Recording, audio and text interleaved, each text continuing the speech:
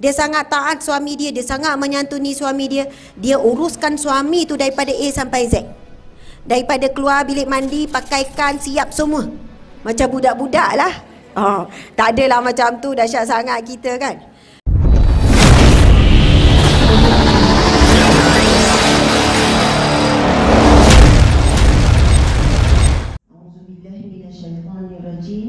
Bismillahirrahmanirrahim.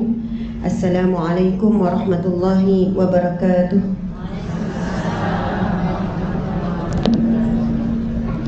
Ah, saya akan duduk. Sekejap, saya tirai duduk. Ah, ah, rasa macam sebab restroom ni tinggi, jadi saya akan berdiri. Ha, InsyaAllah. Tak, tak apa. Memang kadang tu lagi semangat berdiri, idea makin banyak berdiri. Ha, subhanallah. Jadi sebagai permulaannya, mailah sama-sama kita membacakan Ummul Kitab Al-Fatihah.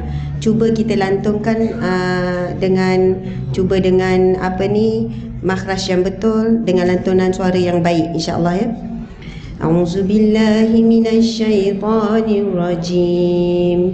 Bismillahirrahmanirrahim. Alhamdulillahi rabbil alamin. الرحمن الرحيم. مالك يوم الدين. إياك نعبد وإياك نستعين. اهدنا الصراط المستقيم. صراط الذين أنعمت عليهم. غير المغضوب عليهم ولا الضالين Amin, amin, amin ya rabbal alamin. Seterusnya insya-Allah, marilah sama-sama kita mengalunkan bacaan Asmaul Husna. Boleh ke? Boleh. Kita cuba untuk bawakan maksud sekali bila kita uh, mengalunkan Asmaul Husna. Mana yang kita ingatlah. Nas'aluka ya man huwallahu allazi la ilaha illa wal Ar-Rahman. Kita pun terlintas. Pengasih Ar-Rahim, penyayang. Lagi apa lagi? Manur Rahim Al-Malikul Qudus yang maha memiliki. Al-Qudus yang maha suci. Lagi? Malikul Qudus Salam yang maha memberi kesejahteraan Salamul Mu'min yang berikan ketenangan Subhanallah. Sebab itu bila kita baca Asma'ul Husna yang kita hafal tu sekarang kita kena belajar baca makna. Supaya bila kita baca 99 tu subhanallah insyaallah 99 yang kita baca tu akhirnya kita boleh datang sekali dengan maksud. Ha, saya tahu ni ni banyak speaker sini ni sebab ia melibatkan ha, ni. Jadi saya akan guna speaker ni lah. Jadi insyaallah untuk permulaan ni kita sama-sama mengalukan asmaul husna dan cuba hayati maksud dia. Dan ini sebagaimana yang disebutkan dalam hadis Nabi sallallahu alaihi wasallam barang siapa yang membaca barang siapa yang membaca menghafal dan sebenarnya tuntutan daripada membaca dan menghafal itu adalah mentadabur asmaul husna dan juga selahkan dalam kehidupan seharian bila kita dah belajar tentang satu-satu nama Allah asmaullahul husna tadi jadi insya-Allah mudah-mudahan sebagaimana hadis Nabi Nabi sebut barang siapa yang man ahsaha barang siapa yang membaca menghafal mentadabur asmaul husna maka dijamin syurga baginya. Subhanallah. Amin ya rabbal alamin. Sebab itu ia bukan sakat hafal, kita kena menjiwai memahami tuntutan daripada Asmaul Husna tersebut. Okey, insya-Allah. Okay, Bismillahirrahmanirrahim.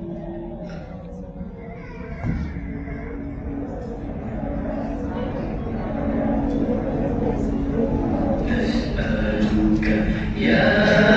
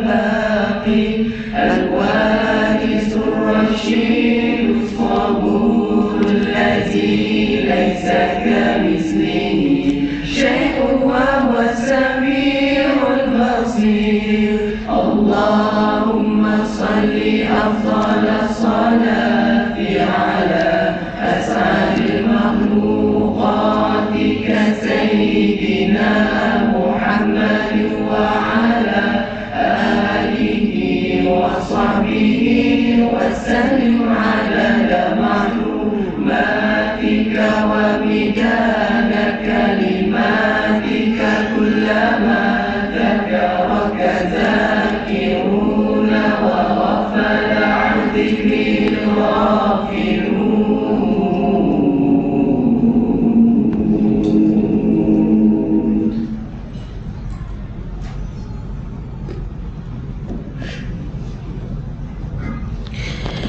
Alhamdulillah. Alhamdulillah. Alhamdulillahi Rabbil Alamin. Hamdan lillah. Salatan wa salaman ala Rasulillah. Sayyidina wa maulana wa habibina wa syafi'ina Muhammad ibni Abdillah wa ala alihi wa ashabihi awliyaillah Alhamdulillah segala puji-pujian kita rafakkan kepada Allah Subhanahu wa taala dalam erti kata pujian yang sebenar-benarnya. Bila kita mengucapkan kalimah alhamdulillah segala puji sudah tentulah kita sedang memuji Allah dengan wajah yang memujinya. Kadang-kadang kita sebut alhamdulillah alhamdulillah sampai terlena. Alhamdulillah alhamdulillah alhamdulillah. Contohlah kan kita zikir selepas solat. Jadi seolahnya kita zikir memuji Allah dalam keadaan lalai. Wallahu alam sama ada diterima atau ada nilai tidak di sisi Allah Subhanahu wa taala. Sama kalau kita mengucapkan terima kasih kepada orang lain, kita berterima kasih, mesti ucapan terima kasih itu dengan wajah yang gembira. Mesti takkan kita cakap macam ni kan? Terima kasih. Orang pun sebesalah. Terima kasih ke nak marah ni? Terima kasihlah. Ha.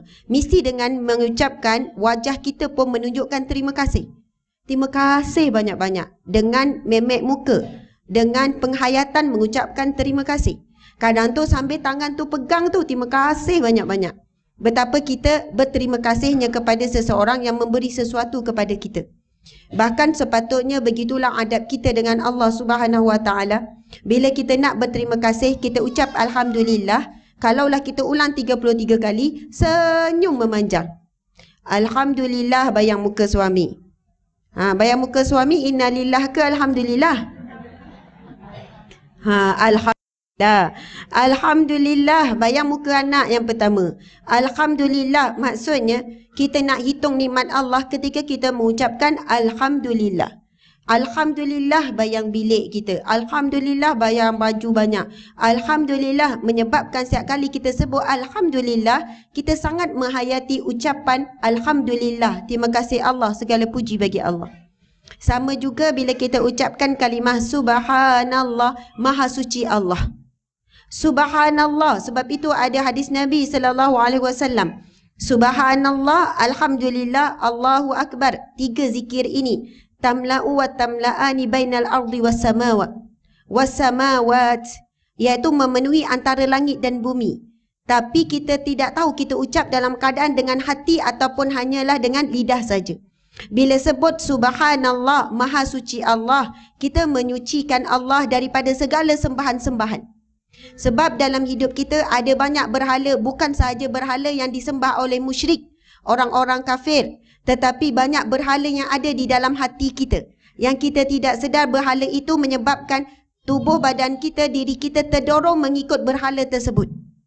Ada orang hidupnya, ini firman Allah Subhanahu Wa Taala. Ada orang menjadikan Tuhan-Tuhan mereka itu daripada mafhum satu firman Allah, iaitu orang-orang orang-orang alim menjadikan orang-orang alim itu umpama seperti berhala ataupun tujuan hidup dia.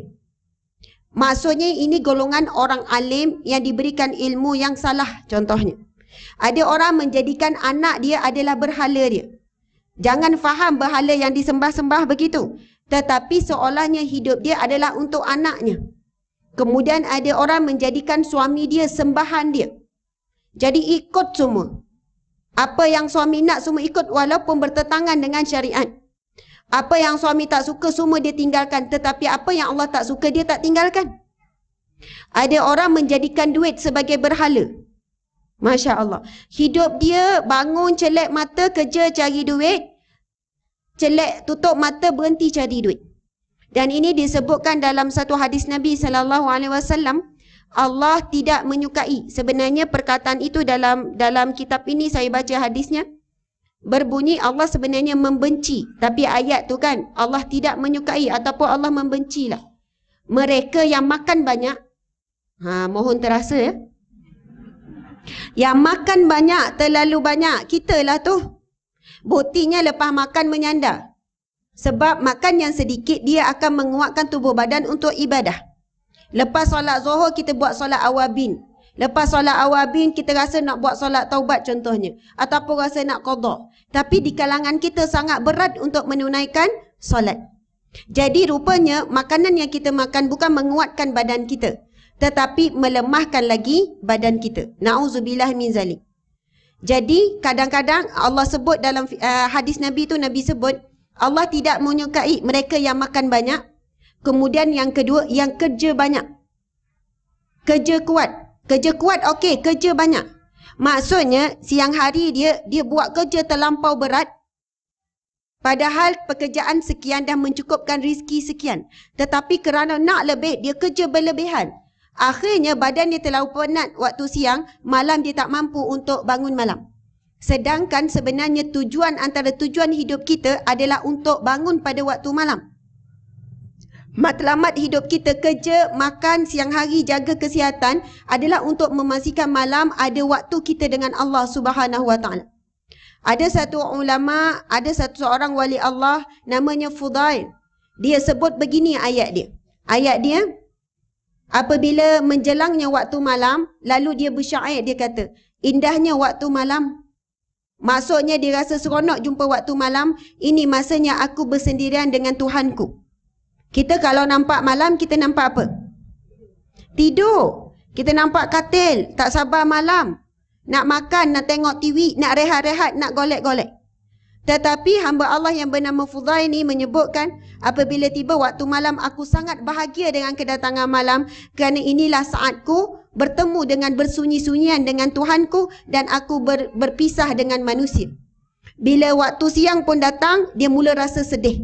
Sedihnya kerana matahari nak muncul, kerana hilangnya waktu malam, waktu bersunyian, sekarang aku mula disibukkan pula dengan manusia. Kalau kita tengok Imam Syafi'i kita, dia bagikan kepada tiga. Waktu malam dia akan bagikan kepada tiga.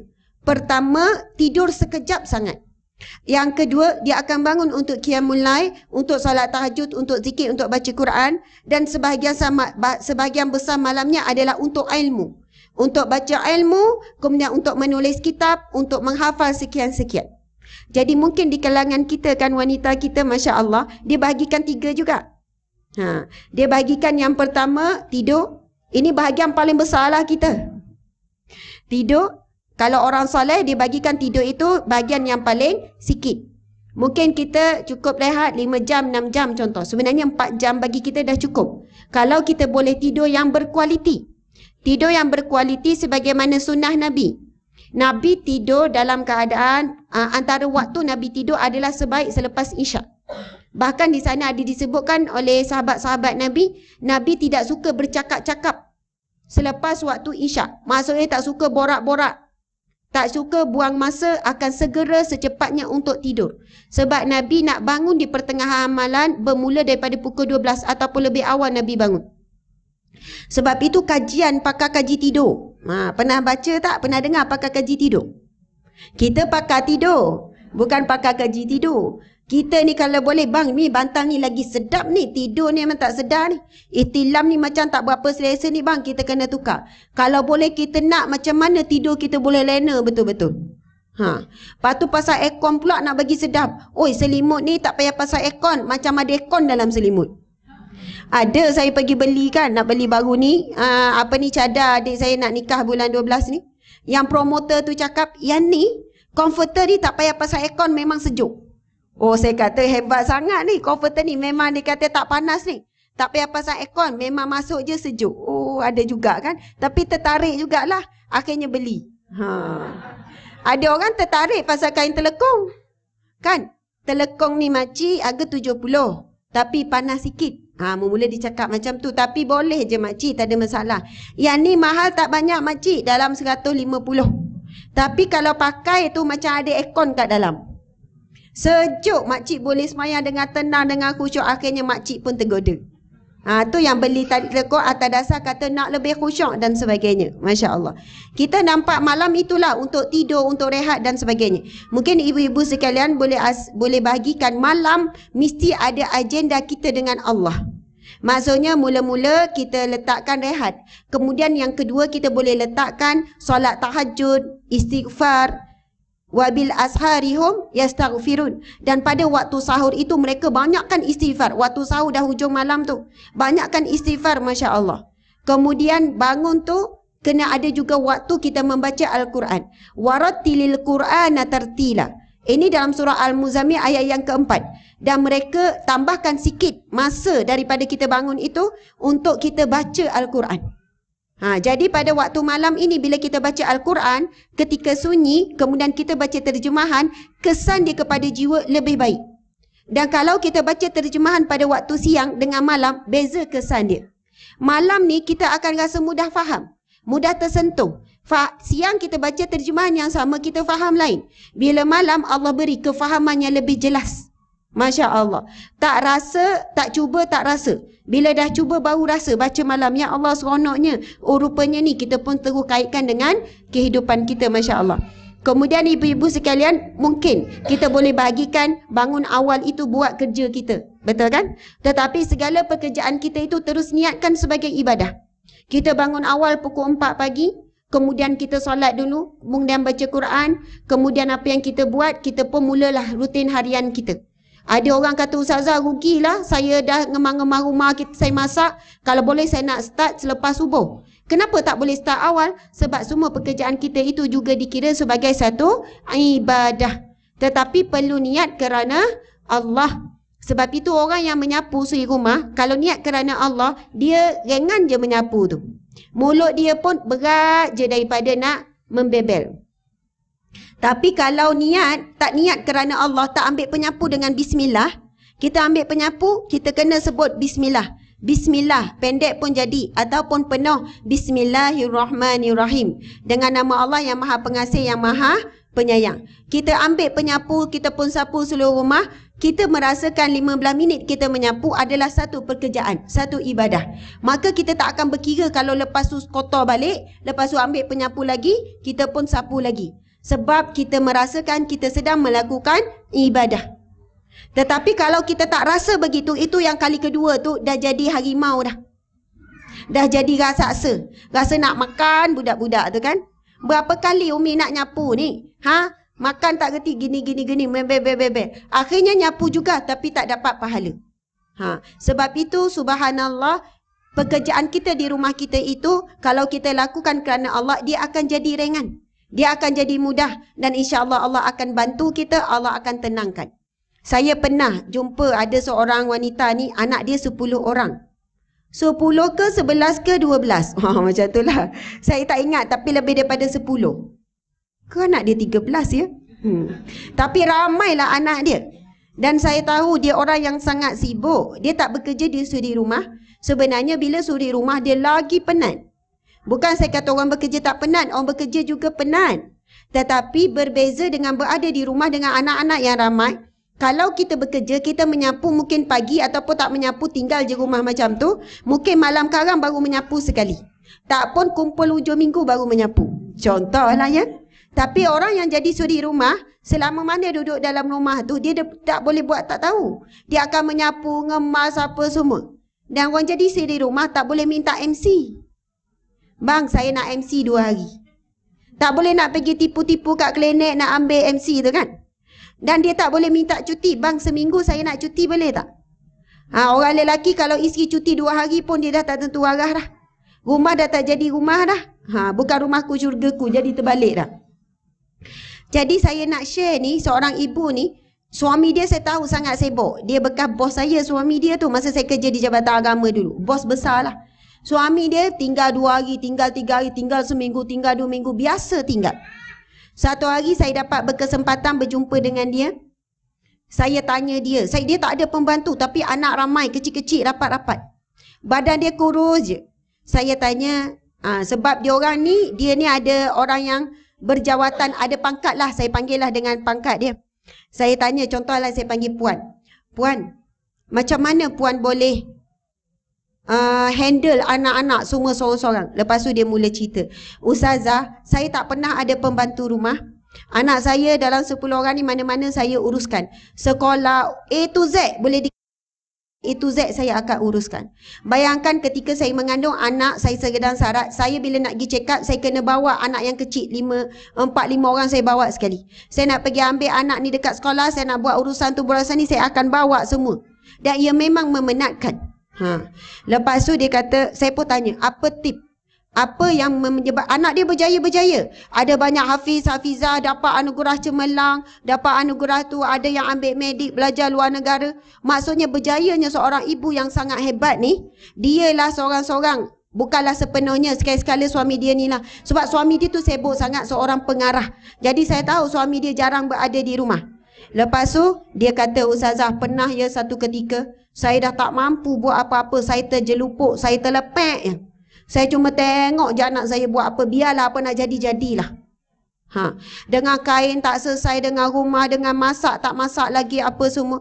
Saya rasa saya dah tak mampu nak buat apa-apa. Tapi ketika itu yang saya mampu buat adalah zikrullah sahaja.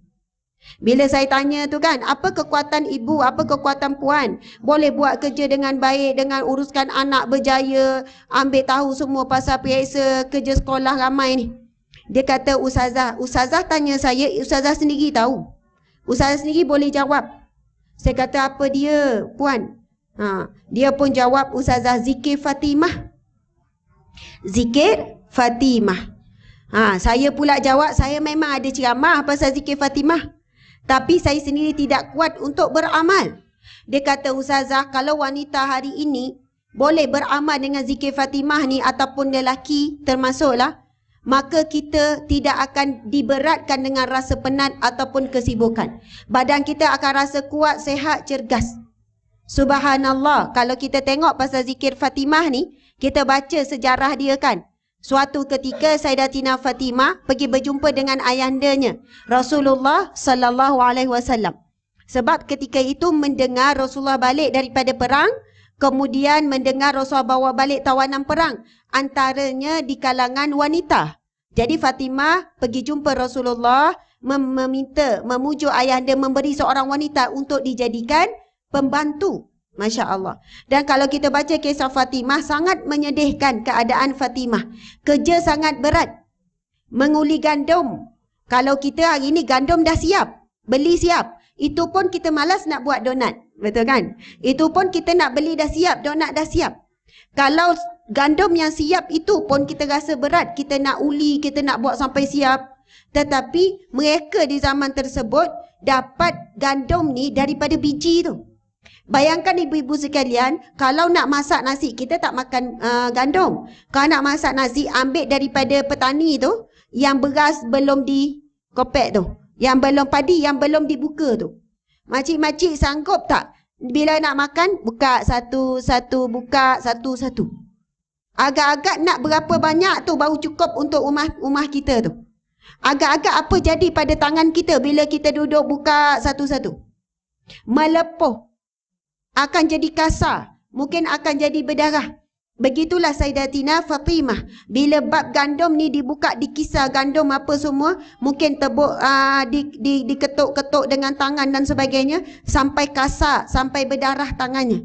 Bahkan digambarkan ketika memandikan jenazah Sayyidatina Fatimah alaihi Sayyidatina Fatimah radhiyallahu anha yang memandikan Sayyidatina Fatimah menangis teresak-esak sebab melihat pada lekuk bahu Fatimah ini ada lekuk. Kesan daripada Sayyidatina Fatimah pergi angkut air daripada jarak yang jauh. Kita ni paip air daripada rumah. Itu pun bukan berat dah kita rasa nak buat kerja rumah paip air ni. Bayangkan kalau kita nak basuh pinggan, kita nak basuh baju, air kena angkut jauh satu kilometer. Agak-agak basuh pinggan, basuh baju tak? Ha. Ya Allah, angkut jauh ni untuk diberi makan dan minum kepada binatang ternakan untuk dijadikan bahan minuman dan sebagainya. Masya Allah. Jadi sampai lekuk ni le, uh, bahu Sayyidatina Fatimah. Kita kalau lekuk sebab bawa handbag lah. Handbag tu berat sebab banyak sangat duit dalam tu. Ha, jadi sebelum balik sedekahlah pada masjid ni. Ha, supaya ringan di dunia, ringan di akhirat insya-Allah. Jadi bila Fatimah jumpa Rasulullah sallallahu alaihi wasallam, Rasulullah kata wahai Fatimah, Rasulullah minta balik. Ha, Rasulullah kata sesungguhnya aku tidak akan membiarkan. Maksudnya ada penduduk yang susah yang miskin ini kelaparan. Maksudnya Nabi akan serahkan pembantu-pembantu ni, tawanan ni sebenarnya diserahkan kepada rumah-rumah sahabat Nabi untuk diajak kepada Islam. Kita jangan bayangkan zaman tersebut bila ada tawanan, tawanan ini dijadikan hamba tidak. Tetapi berada di rumah sebagai pembantu dan tak dipaksa pun masuk Islam. Sebab Islam tak boleh dipaksa. Walaupun dia seorang pembantu. Tetapi kerana berada di rumah sahabat-sahabat Nabi ini, akhirnya kebanyakan tawanan perang akan masuk Islam. Sebab apa mereka melihat indahnya akhlak sahabat-sahabat Nabi. Mereka mendengar tentang ayat Al-Quran, hadis Nabi dan sebagainya. Akhirnya kebanyakan tawanan akan masuk Islam. Ha, jadi Fatimah pun baliklah ke rumah. Namun bila Rasulullah teringat permintaan ananda, Rasulullah pergi semula ke rumah ananda Fatimah. Kemudian Rasulullah pun memberi salam. Rasulullah pun berkata, Wahai anandaku, maukah kamu aku memberikan kepada kamu yang lebih baik daripada seorang pembantu? Masya Allah. Kita kalau suami kita beri pembantu memang seronok kan? Yang saya tak nak bagi awak buat kerja berat lagi. Saya tak ada kerja apa-apa bang. Tak apa. Saya nak awak dilayan dengan baik. Saya nak bagi awak pembantu. Bang, tak ada anak dah ni. Anak dah besar-besar ni. Duduk seorang-seorang kat rumah. Seronok tak kita walaupun tak ada orang kat rumah. Tapi ada orang uruskan semua. Seronok tak? Oh ya dengar tu. Seronok. Beronok-ronok. Ha, berkasa je. Ber-ber-beronok-ronok. Tiba masa dah siap dah makan. Cik Puan besar, oh jadi Cik Puan besar. Sila jemput makan ya. Ha, lepas tu dah harga petang-petang, tolong buatkan saya kopi. Ha, macam tu. Nak cicah air, uh, biskut kosong? Ha. Lepas tu bila nak pakai baju, pilih. Semua dah siap gosok. Ha, nak keluar eh. balik semua mestilah rasa seronok. Masya Allah. Bahkan kita akan rasa seronoknya dan kita akan rasa boleh tumpu pada ibadah. Kononnya lah. Rupanya nalipun tak berhenti. Kan jalan sana, kan jalan sini. Ha. Okey, subhanallah.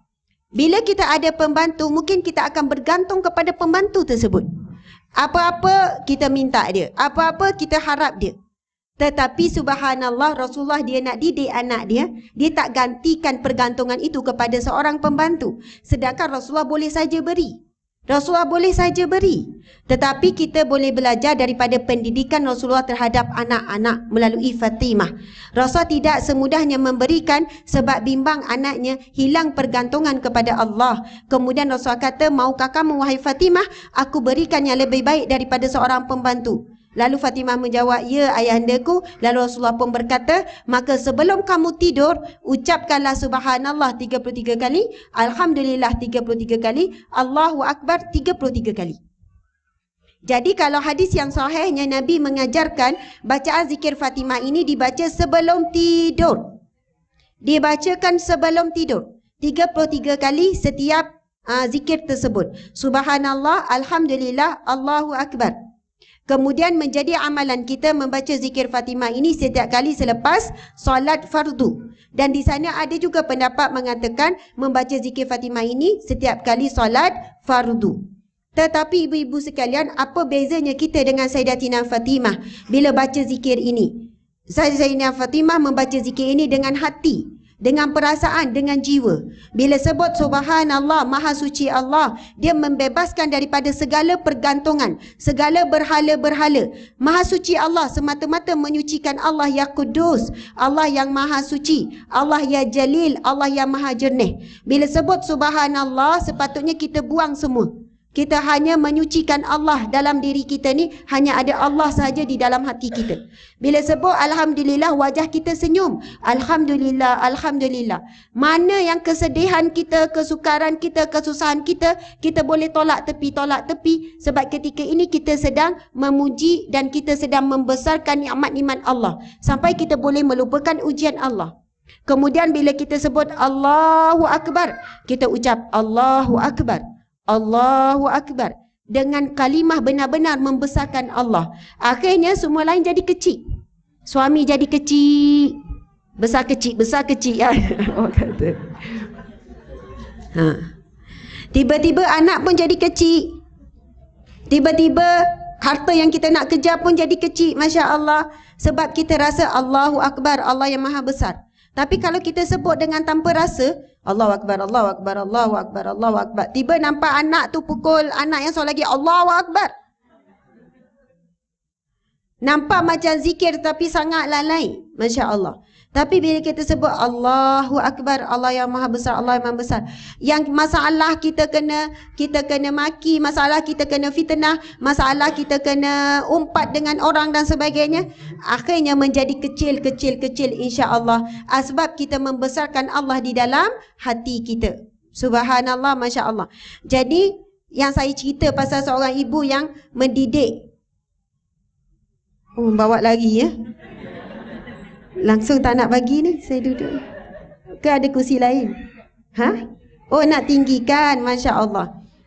Subhanallah, tak apa. Nanti kalau saya tak larat, saya akan duduk. Ha, sementara ni saya boleh berdiri lagi, insya Allah. Sebab pagi tadi ada dah ceramah di tempat lain kan. Ha, malam tadi di Shah Alam. Jadi saya datang sini tadi dengan dengan Grab car. Ha, macam itulah. Sebab saya tinggalkan di homestay semua anak-anak. Suami biarlah dia orang rehat. Dia orang sama-sama habiskan masa. Nanti suami saya dengan anak-anak tujuh orang. Ha, Masya Allah akan datang sama-sama insya Allah. Okey. Jadi saya kira sebenarnya muslimat kadang-kadang kenapa kita zikir tetapi zikir tidak meringankan badan kita. Zikir itu tak membuatkan kita jadi kuat. Ada orang kata Ustazah saya dah beramal dengan zikir Fatimah. Tetapi kenapa tak ada perubahan pun? Dan wanita ni dia kata Ustazah masa saya terjelupuk jatuh tu. Saya cuma zikrullah je. Subhanallah, Alhamdulillah, Allahu Akbar. Saya membayangkan Allah akan bawakan saya pembantu. Ha.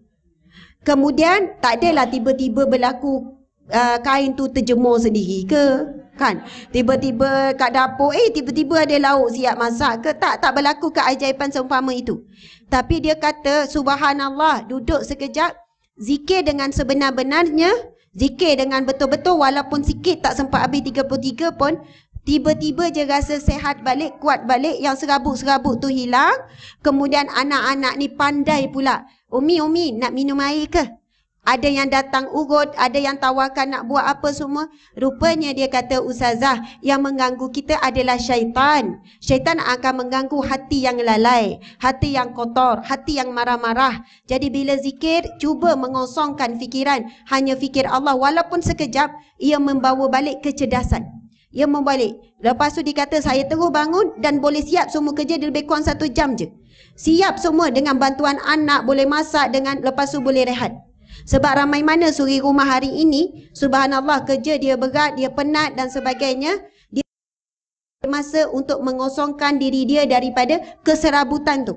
Sedangkan jiwa yang tenang, jiwa yang rasa tenang, rasa lapang, itulah yang menguatkan badan kita.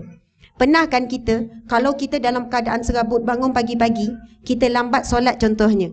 Pagi tu pula tak baca Quran. Pagi tu pula tak sempat zikir. Kita akan rasa serabut sepanjang hari. Serabut tu dibawa, rasa gelisah tak tenang tu dibawa sampai nak tidur balik. Ada je benda tak kena. Tapi bila kita hari itu mulakan dengan qiyamulai, tahajud, Lepas tu solat subuh, lepas tu sempat baca Quran, lepas tu solat duha, kita akan rasa satu hari kita sangat bermakna dan rasa tenang. Ujian datang, bahkan mungkin lebih berat daripada semalam, tapi jiwa kita dah rasa tenang. Sebab apa hari itu kita dah bagi kita dah bagi vitamin yang cukup kepada hati kita. Masya Allah. Tapi di sana saya nak share juga, ramai ke suri rumah kat sini angkat tangan? Angkat tinggi-tinggi. Okey, Masya Allah. Sebahagian besarnya adalah suri rumah. Saya nak tengok wanita yang bekerja. Angkat tangan tinggi-tinggi. Oh, jadi lebih ramai suri rumah. Masya Allah. Ada juga wanita yang bekerja. Siapa yang ada anak kecil contohnya, sama ada suri rumah ataupun tidak, ada ramai anak pula. Saya nak ingatkan satu perkara. Diri kita ini tak boleh diganti oleh sesiapa. Betul ke tidak? Tak ada siapa yang boleh gantikan tempat kita sebagai seorang isteri ataupun sebagai seorang ibu. Maksudnya tubuh badan kita ni tak boleh digantikan oleh sesiapa. Tetapi kerja kita boleh diganti oleh orang lain. Ha, faham tak tu? Kerja kita boleh digantikan oleh orang lain. Ha, nanti saya duduk. Ha, InsyaAllah. Tengah semangat ni saya diri kejap. Nanti saya duduk. Kerja kita boleh digantikan dengan orang lain. Contoh, ibu-ibu sekalian, anak-anak di rumah boleh bantu kerja kita. Kemudian kalaulah anak tidak boleh lagi nak membantu anak masih kecil. Hari tu ada sahabat saya datang rumah. Saya tengok dia sangat stres anak dia enam orang. Muka dia kita boleh nampak muka stres tertekan. Dia seorang guru. Lepas tu muka dia tu kan Dahlah dia marah anak, kemudian dia terjerit juga di hadapan saya. Saya sebenarnya tak cakap pun pada dia dia teruk ke apa. Saya cuma kesian saja. Saya boleh nampak muka dia sangat penat, dia makan sambil layan anak, lepas tu tengok anak tu pergi sana, pergi sini dan sebagainya. Akhirnya saya panggil dia, saya kata, adalah kawan baik saya, saya kata penat ya. Terus dia menangis. Terus dia menangis. Dia kata macam-macam dah buat. Dia panggil saya Asma lah. Saya dah buat macam-macam zikir yang Asma share tu. Zikir tu, zikir ni, zikir Fatimah. Tapi kenapa tak jadi juga? Kenapa badan dia tak kuat? Kenapa saya tetap stres? Dia menangis je. Dan masa sama, suara dia tu ditinggikan untuk anak-anaknya. Saya pula rasa terluka bila suara tinggi tu. Nampak anak tu hati kita pula terguris, hati kita pula pecah. Macam mana hati anak tu sendiri, saya tak tahulah macam mana. Sebab ditinggikan suara itu juga di depan orang kan. Ha, jadi anak pun ada maruah dan sebagainya. Tapi saya tak salahkan dia sebab dia terlampau penat, dia terlampau stres. Kemudian saya kata gini, sekarang buat iklan cari saya kata ada tak dekat-dekat rumah tu orang yang boleh tolong mengemas rumah? Dia kata ada, ada dalam grup saya pun ada grup taman. Nombor telefon orang boleh kemas rumah. Saya kata mesej sekarang. Saya tak suruh dia bila-bila, saya kata sekarang juga. Kenapa Asma? Sekarang mesej suruh dia datang besok. Suruh datang cepat. Kenapa? Suruh dia datang bantu buat kerja rumah, suruh dia gosok baju ke apa-apa yang nak disuruh. Okey, lepas tu dia mesej saya. Lepas tu kata dah dapat dah. Orang ni setuju. Esok datang. Masya Allah. Kemudian saya terangkan sikit begini, begini, begini. Lepas daripada tu saya mesej balik dengan dia. Saya tanya macam mana apa perasaan. Lepas tu dia kata, Ya Allah terima kasih banyak. Masya Allah.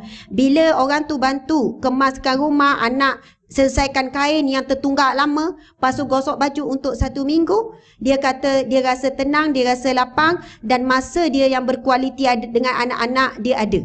Ada masa untuk dengar anak baca Quran. Ada masa untuk anak-anak bermanja.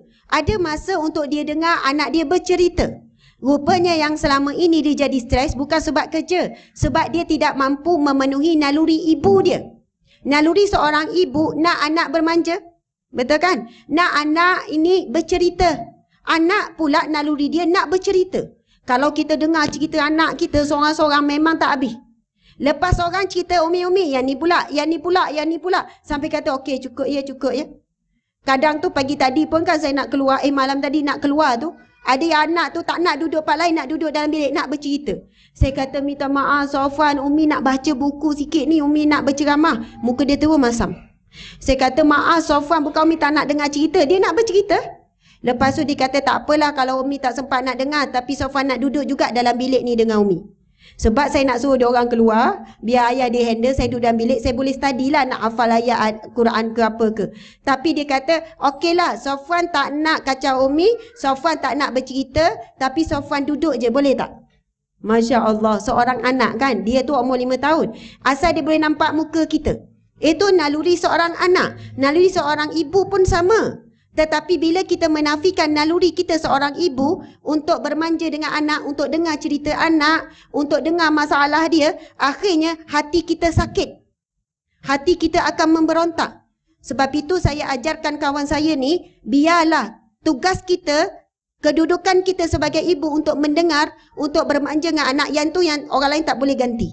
Tetapi kerja rumah kita boleh diganti oleh orang lain. Lepas tu dia kata, tapi duit cukup-cukup je. Duit pun kadang tak cukup. Saya kata, lepas ni duit akan cukup. Insya Allah, walaupun bayar upah orang tu RM50, RM60 rasa besar lah. Tapi asbab buat begitu, rezeki akan cukup. Sebab apa? Dah turun kasih sayang. Turun rahmat Allah. Bila kita mampu memberi kasih sayang kepada anak-anak kecil di dalam rumah kita. Kadang-kadang kita rasa kan, kita rasa penat, kita nak anak kita faham.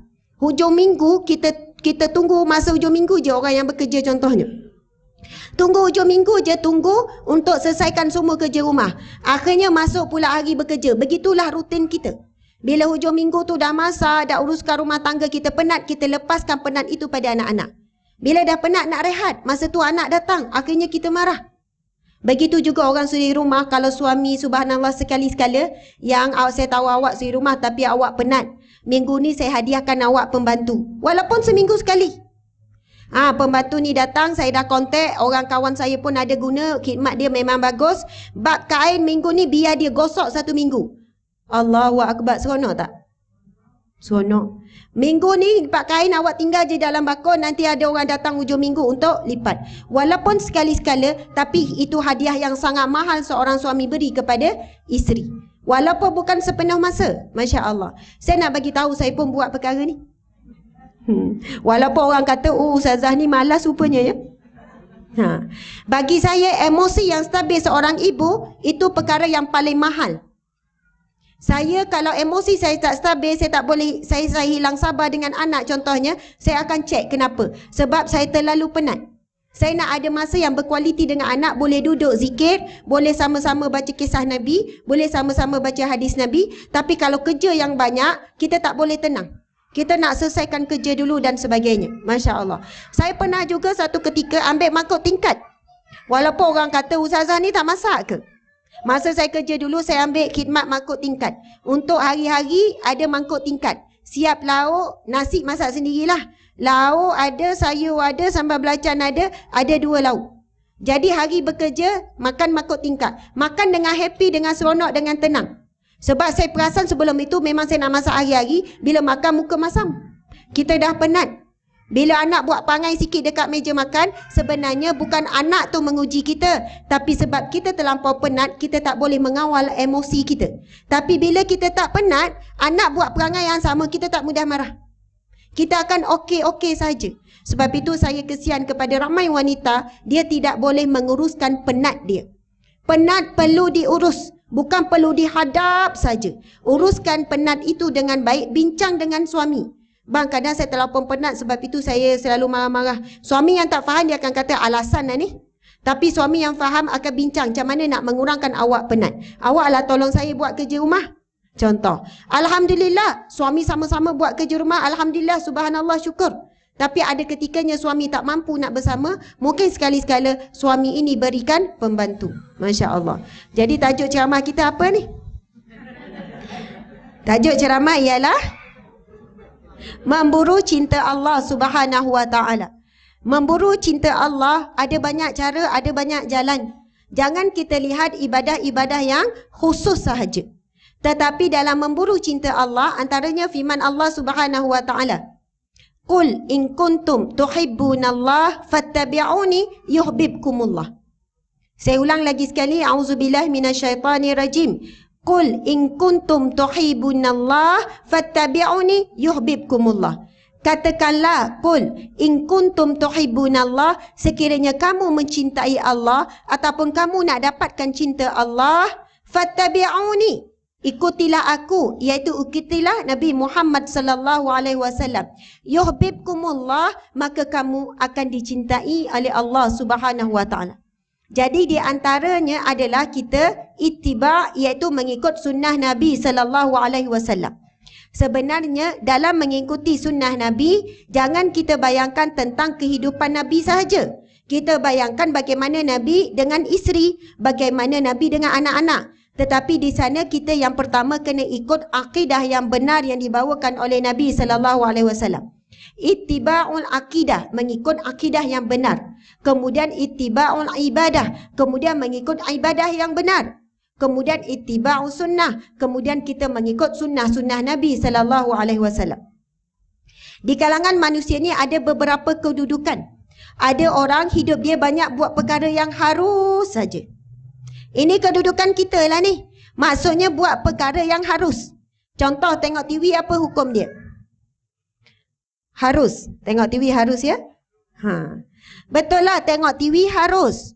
Tapi boleh naik makro, boleh naik haram. Tengok TV ada ada kalanya jadi sunat. Ha, maksudnya bila kita tengok majlis ilmu melalui TV, maka diberi pahala lah. Tapi kalau melihat uh, program masak-masak, agak-agak dapat pahala tak program masak-masak? Dapat ustazah sebab saya akan masak. Yelah tu.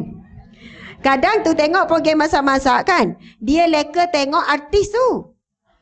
Sebab dia minat tengok celoteh artis tu. Padahalnya dalam uh, resepi tu payah, susah. Dia gigih lah nyalin resepi. Tapi satu tahun pun dia tak masak.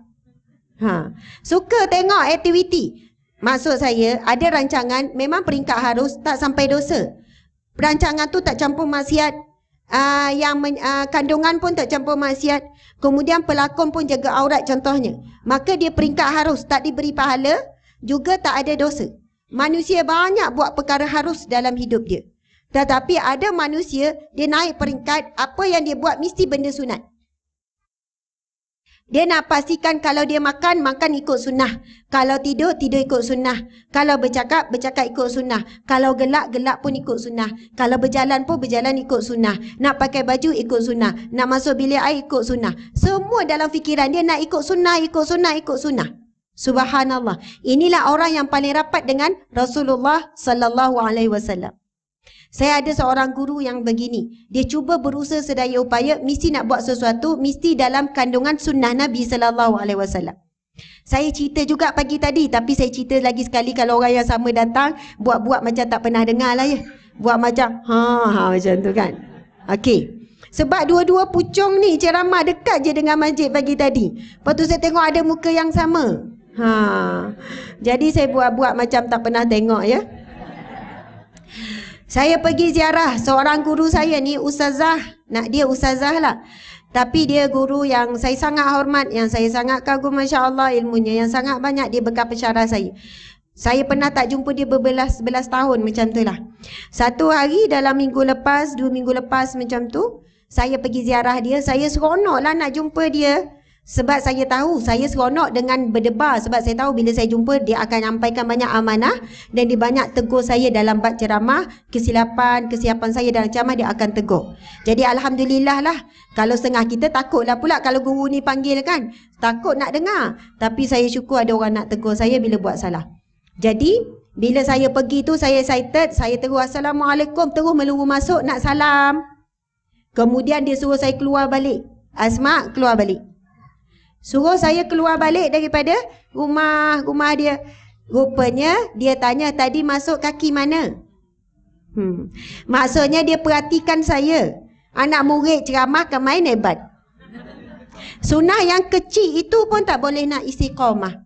Dia kata tadi masuk kaki mana Asma? Saya kata ya Allah Ustazah, bukan kaki kanan ke saya cakap? saya jawab macam tu.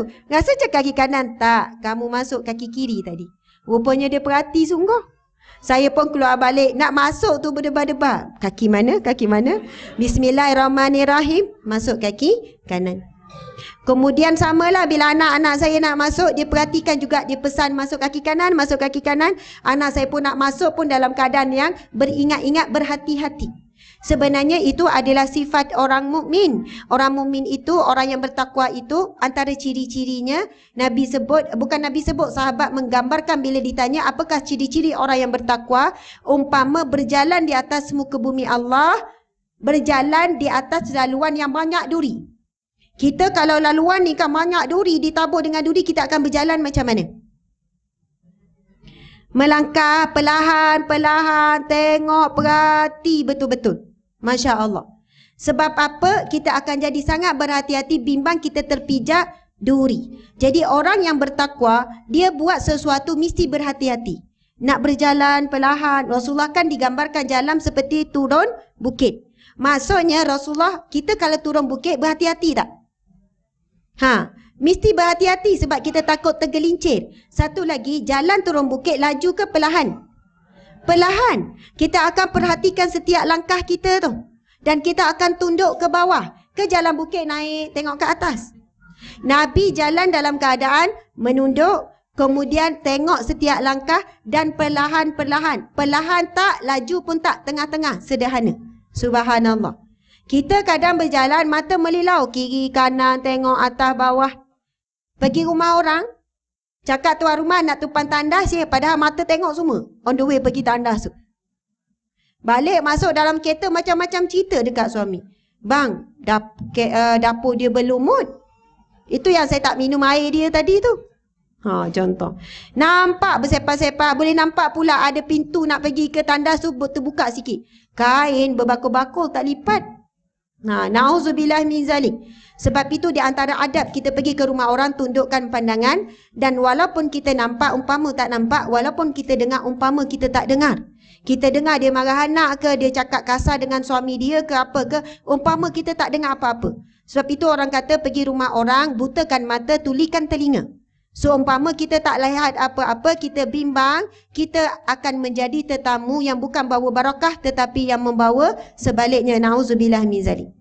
Okey. Jadi sebut tadi tu mengikut itibau sunnah mengikut sunnah Nabi sallallahu alaihi wasallam itu salah satu kaedah ataupun cara untuk mendapat cinta Allah Subhanahu wa taala.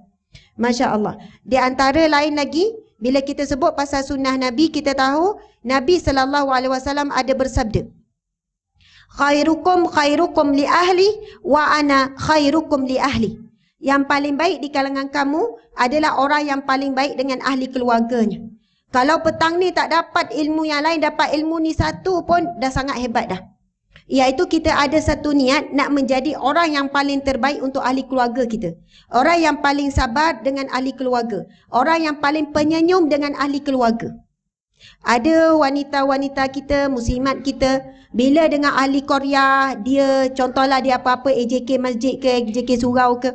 Sepanjang daripada pagi sampai petang dia mampu senyum ataupun wanita-wanita kita yang bekerja di pejabat mampu kekal senyum daripada pagi sampai pukul 5 petang. Dia punya momentum senyum tu sama yang manis. Walaupun masa tu bos dia panggil, bos dia panggil marah-marah pun, dia keluar daripada bilik bos dia boleh senyum lagi. Walaupun dalam keadaan dia marah-marah pun tapi muka tu senyum. Bila bos dia panggil, dia boleh senyum balik pula. Ya tuan ada apa? Senyum saja. Dia boleh menyembunyikan rasa dia dan wajah dia kekal senyum. Orang tanya macam mana lah kau sabar macam ni. Memanglah banyakkan zikir, dia kata. Ha. Dia kata subhanallah memang dilahirkan sebagai penyenyum. Contohlah. Tapi ramai mana bila balik ke rumah, tak boleh nak kekal wajah yang senyum. Bila ngadap je muka suami ataupun muka isteri, muka jadi ketat. Ni kenapa bang stres tempat kerja? Ni kenapa awak macam ni penat lah bang? Awak janganlah pelik-pelik pula. Wah dia bagi warning. Awak jangan cari pasal pula dengan saya.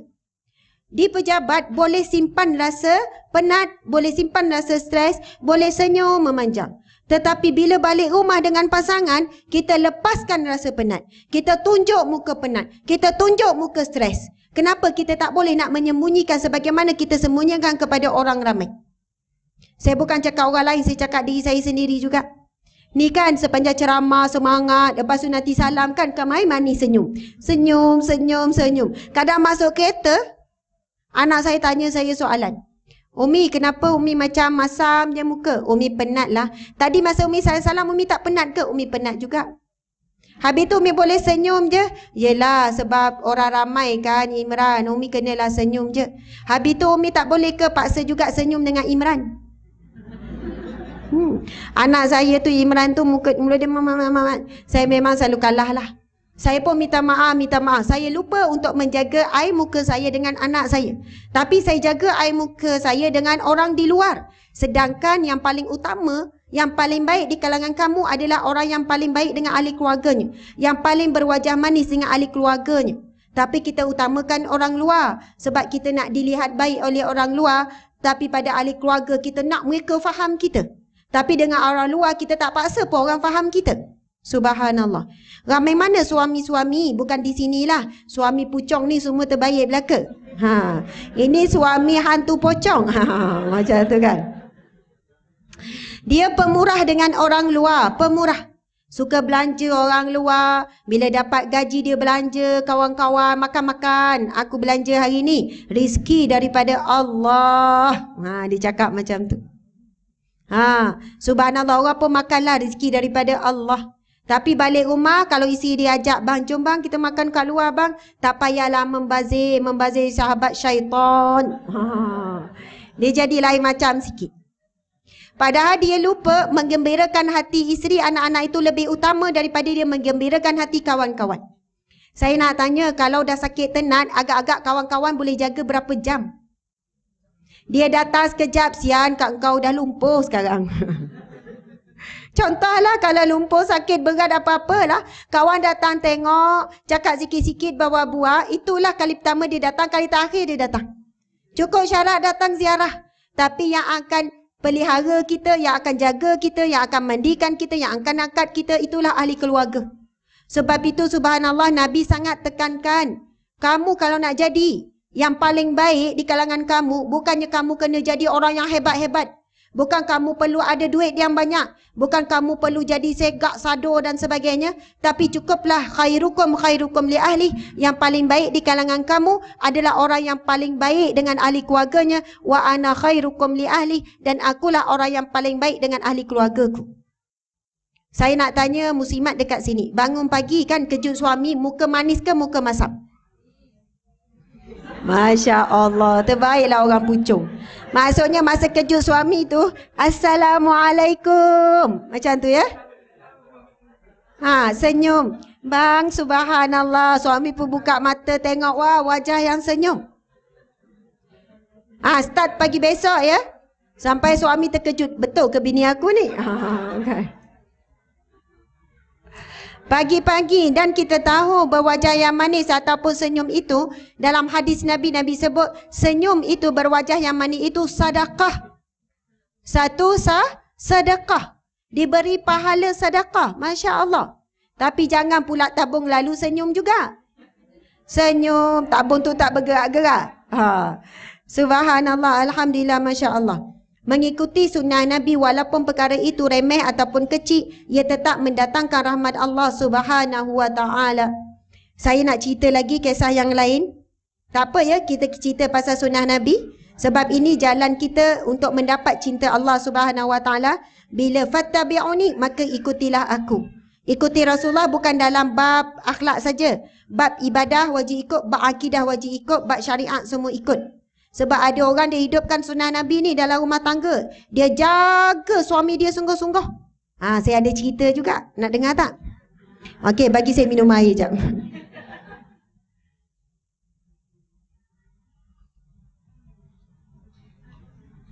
Ha, cerita ni menarik juga ni. Kisahnya ada seorang wanita yang sangat taat pada suami dia. Kisah zaman sekarang ni, bukan zaman dahulu kala. Dia sangat taat suami dia. Dia sangat menyantuni suami dia. Dia uruskan suami tu daripada A sampai Z. Daripada keluar bilik mandi, pakaikan, siap semua. Macam budak-budak lah. Oh, tak adalah macam tu, dahsyat sangat kita kan. Maksudnya sampai dia dikenali oleh kawan-kawan dia sampai heboh. Maksudnya orang tahu. Dia sangat jaga suami dia. Terbaik dia jaga suami dia. Sampai peringkat uh, semualah makan minum dia masak dia pun jaga diri dia dia juga wanita yang cantik Ha. Kemudian nak ceritanya uh, uh, ketaatan dia ni termasuk dalam bab meminta izin untuk keluar daripada rumah. Nak keluar daripada rumah mesti minta izin. Nak pergi mana-mana mesti minta izin. Kita lah juga kan insyaAllah. Tapi lebih baik dia tu contoh dia kata macam ni. Bang saya nak pergi rumah Siti ya. Boleh. Dia pun pergi rumah Siti. Tiba-tiba tepi rumah Siti ada nama Bedah. Contohlah ya. Ha. Bedah pun ajak. Eh jomlah singgah kejap kat rumah. Ada laksa Penang ni. Contohlah. Kebetulan kita suka laksa Penang. Agak-agak pergi tak rumah Bedah? Ui laju. Tadi minta izin, minta izin, minta izin. Kita kan minta izin pergi rumah Siti. Kita tak minta izin pergi rumah Bedah. Ha. Ada orang kata dia call dulu.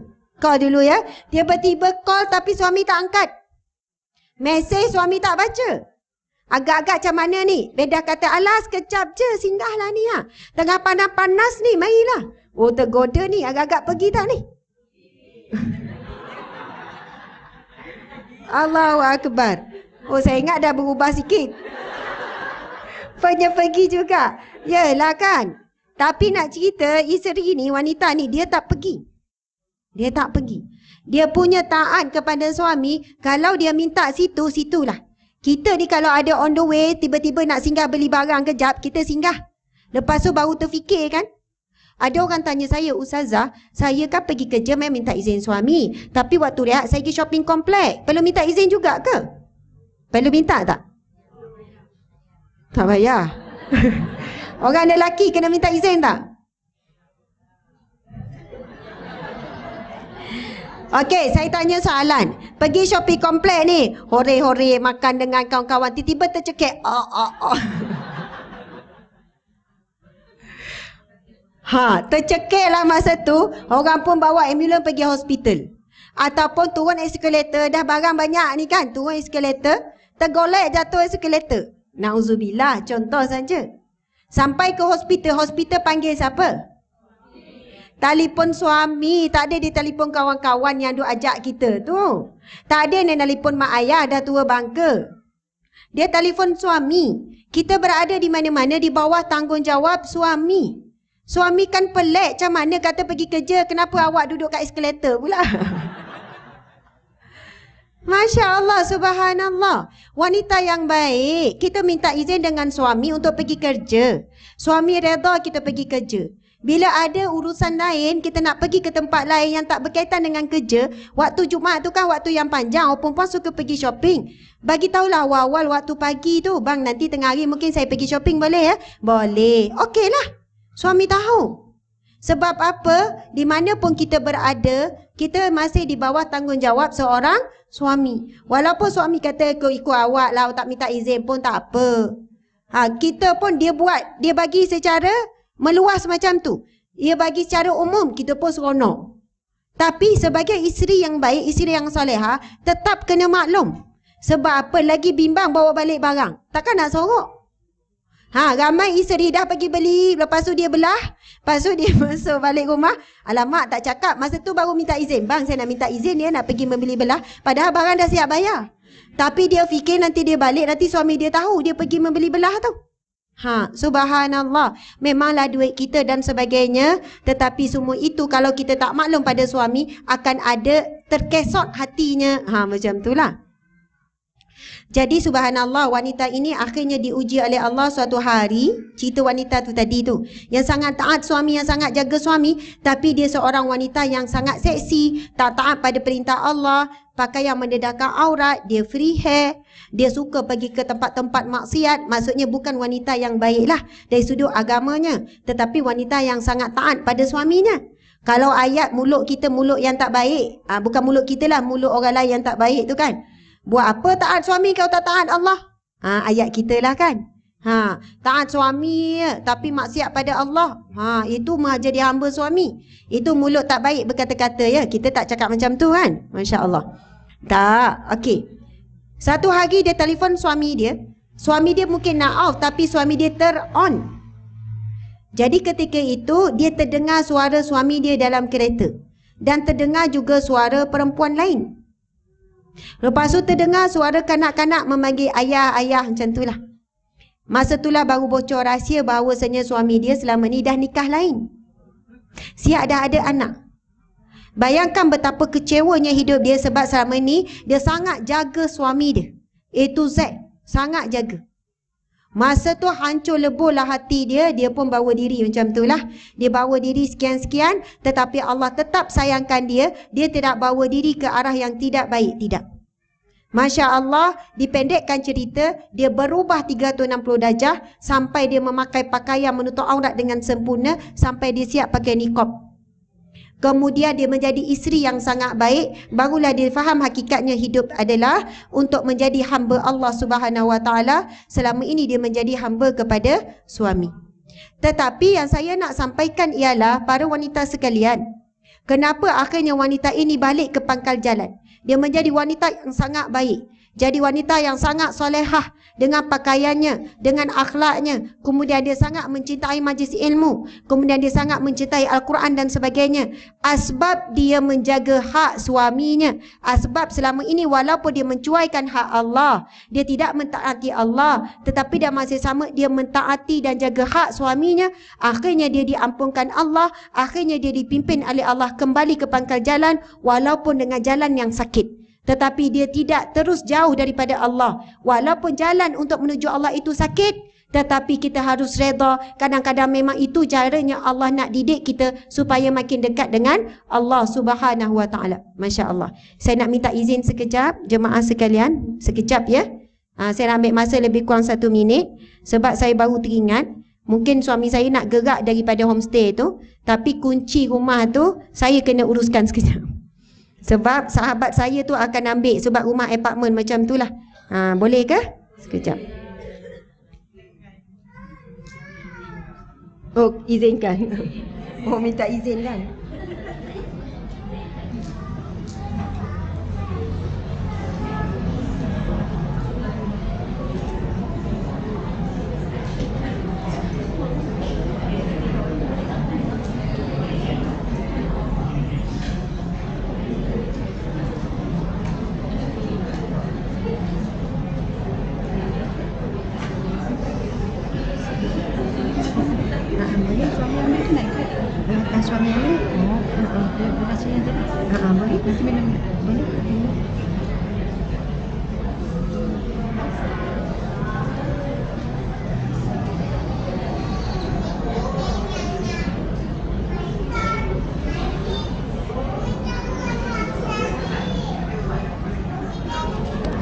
Okey, sambil tu kita berselawat boleh? Ha, subhanallah. Saya kena aturkan dengan hamba Allah ni untuk ambil kunci daripada suami saya. Ha, semua masuklah ke berita ni ha, dalam live. Okey, subhanallah. Sempena Mahidur Rasul kita sama-sama berselawat. Bismillahirrahmanirrahim. Sallallahu ala Muhammad. Sallallahu ala وسلم الله على محمد.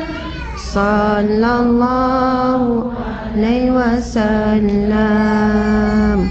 يا نبي سلام عليك.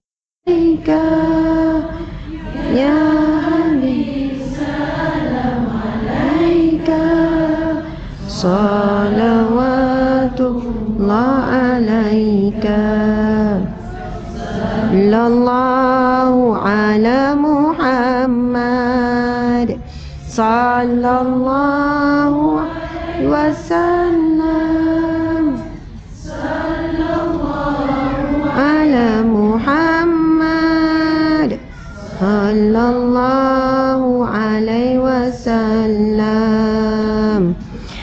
أشرق البدر علينا.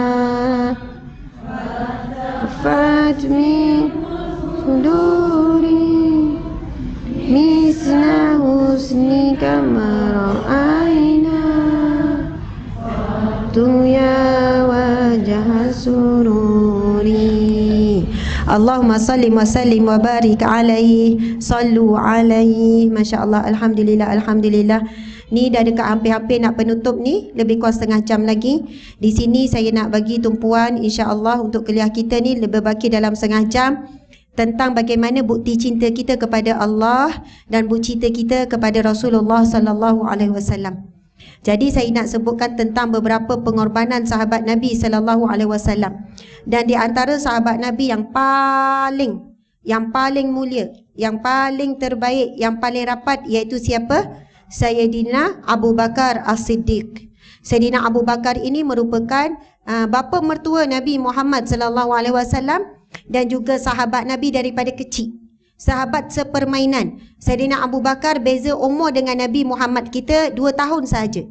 Maksudnya kalau umur Nabi 8 tahun, Abu Bakar umur 6 tahun. Ketika berhijrah tu umur Nabi 53 tahun, Sayyidina Abu Bakar berumur 51 tahun.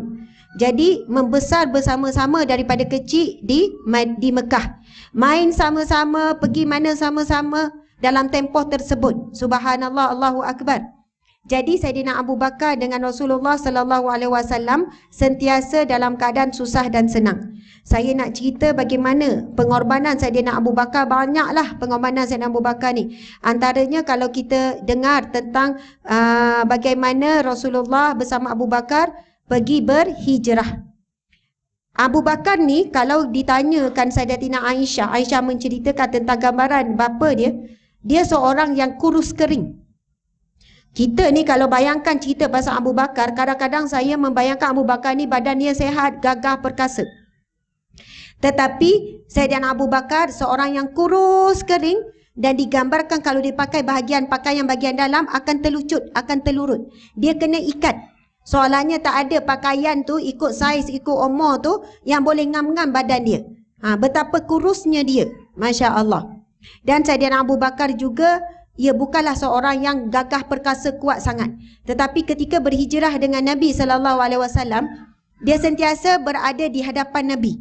Nabi duduk belakang. Dan ketika berhijrah tu Sayyidina Abu Bakar akan sekejap jalan ke kanan, laju ke kanan. Sekejap ke kiri, laju. Sekejap ke belakang, mengundur ke kanan. Sekejap belakang, mengundur ke kiri. Sampai Nabi tanya, wahai Abu Bakar, kamu buat apa wahai Abu Bakar? Maksudnya sepanjang berjalan dengan Nabi tu nak meninggalkan Mekah dan kita tahu saat ini saat yang sangat genting. Abu Jahal dah buat pengumuman. Siapa yang jumpa Muhammad hidup-hidup ataupun boleh bunuh Muhammad akan diberi upah 100 ekor unta merah. Zaman tersebut kalau dapat seekor unta merah itu satu kebahagiaan, satu kekayaan dah. Harta yang paling mahal adalah unta merah. Masya Allah. Kita kalau kita dapat Emas lah. Kalau orang upah emas satu kilo. Kalau satu kilo ni berapa berapa harga ya?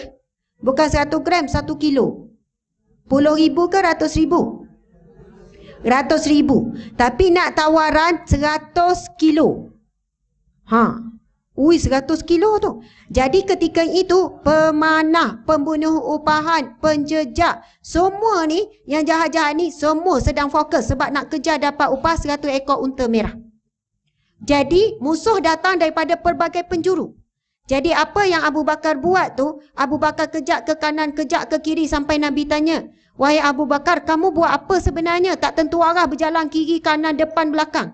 Ya Rasulullah, sekiranya musuh datang daripada sebelah kanan, akulah yang akan dipanah dahulu. Kau datang dari sebelah kiri, akulah yang dipanah dahulu. Kalau datang daripada belakang, akulah yang dipanah dahulu.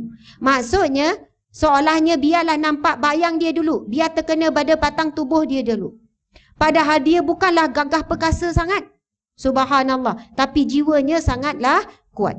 Bila sampai ketika, Ya Rasulullah, kita perlu bersembunyi dulu sebab takut kita dijejak. Bila nak bersembunyi pergi menuju ke gua apa? Oh ada sebut gua Hira tu. Gua Sur. Betul tak gua Sur? Gua Sur ni digambarkan gua yang tinggi kemudian bila nak naik tu berbatu-batu.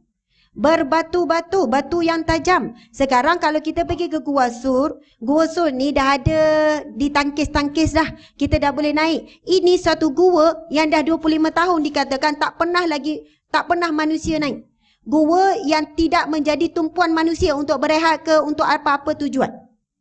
Jadi ketika nak naik tu subhanallah Abu Bakar pun berkata, Wahai ya Rasulullah, kita perlu hilangkan jejak sebab mereka boleh menjejaki kita kalau nampak ada dua tapak. Jadi sekarang biar tapak jadi satu sahaja. Jadi mereka tak menjejaki kita sebab mereka tahu kita bergerak berdua sahaja. Kemudian apa jawab Rasulullah ya Rasul kata wahai Abu Bakar apa pandanganmu kamu ada idea apa Abu Bakar pun menundukkan badan dia ya Rasulullah engkau naik di atas belakangku Subhanallah.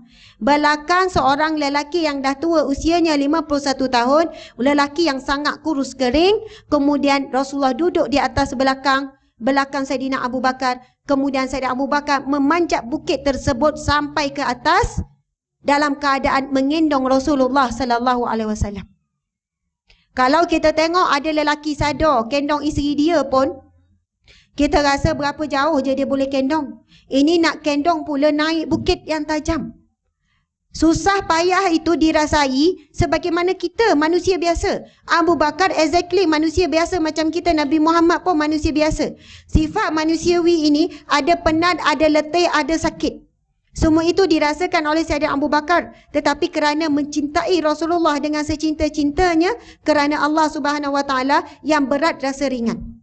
Lalu kendonglah sampailah ketika di puncak bukit nampak ada gua kan.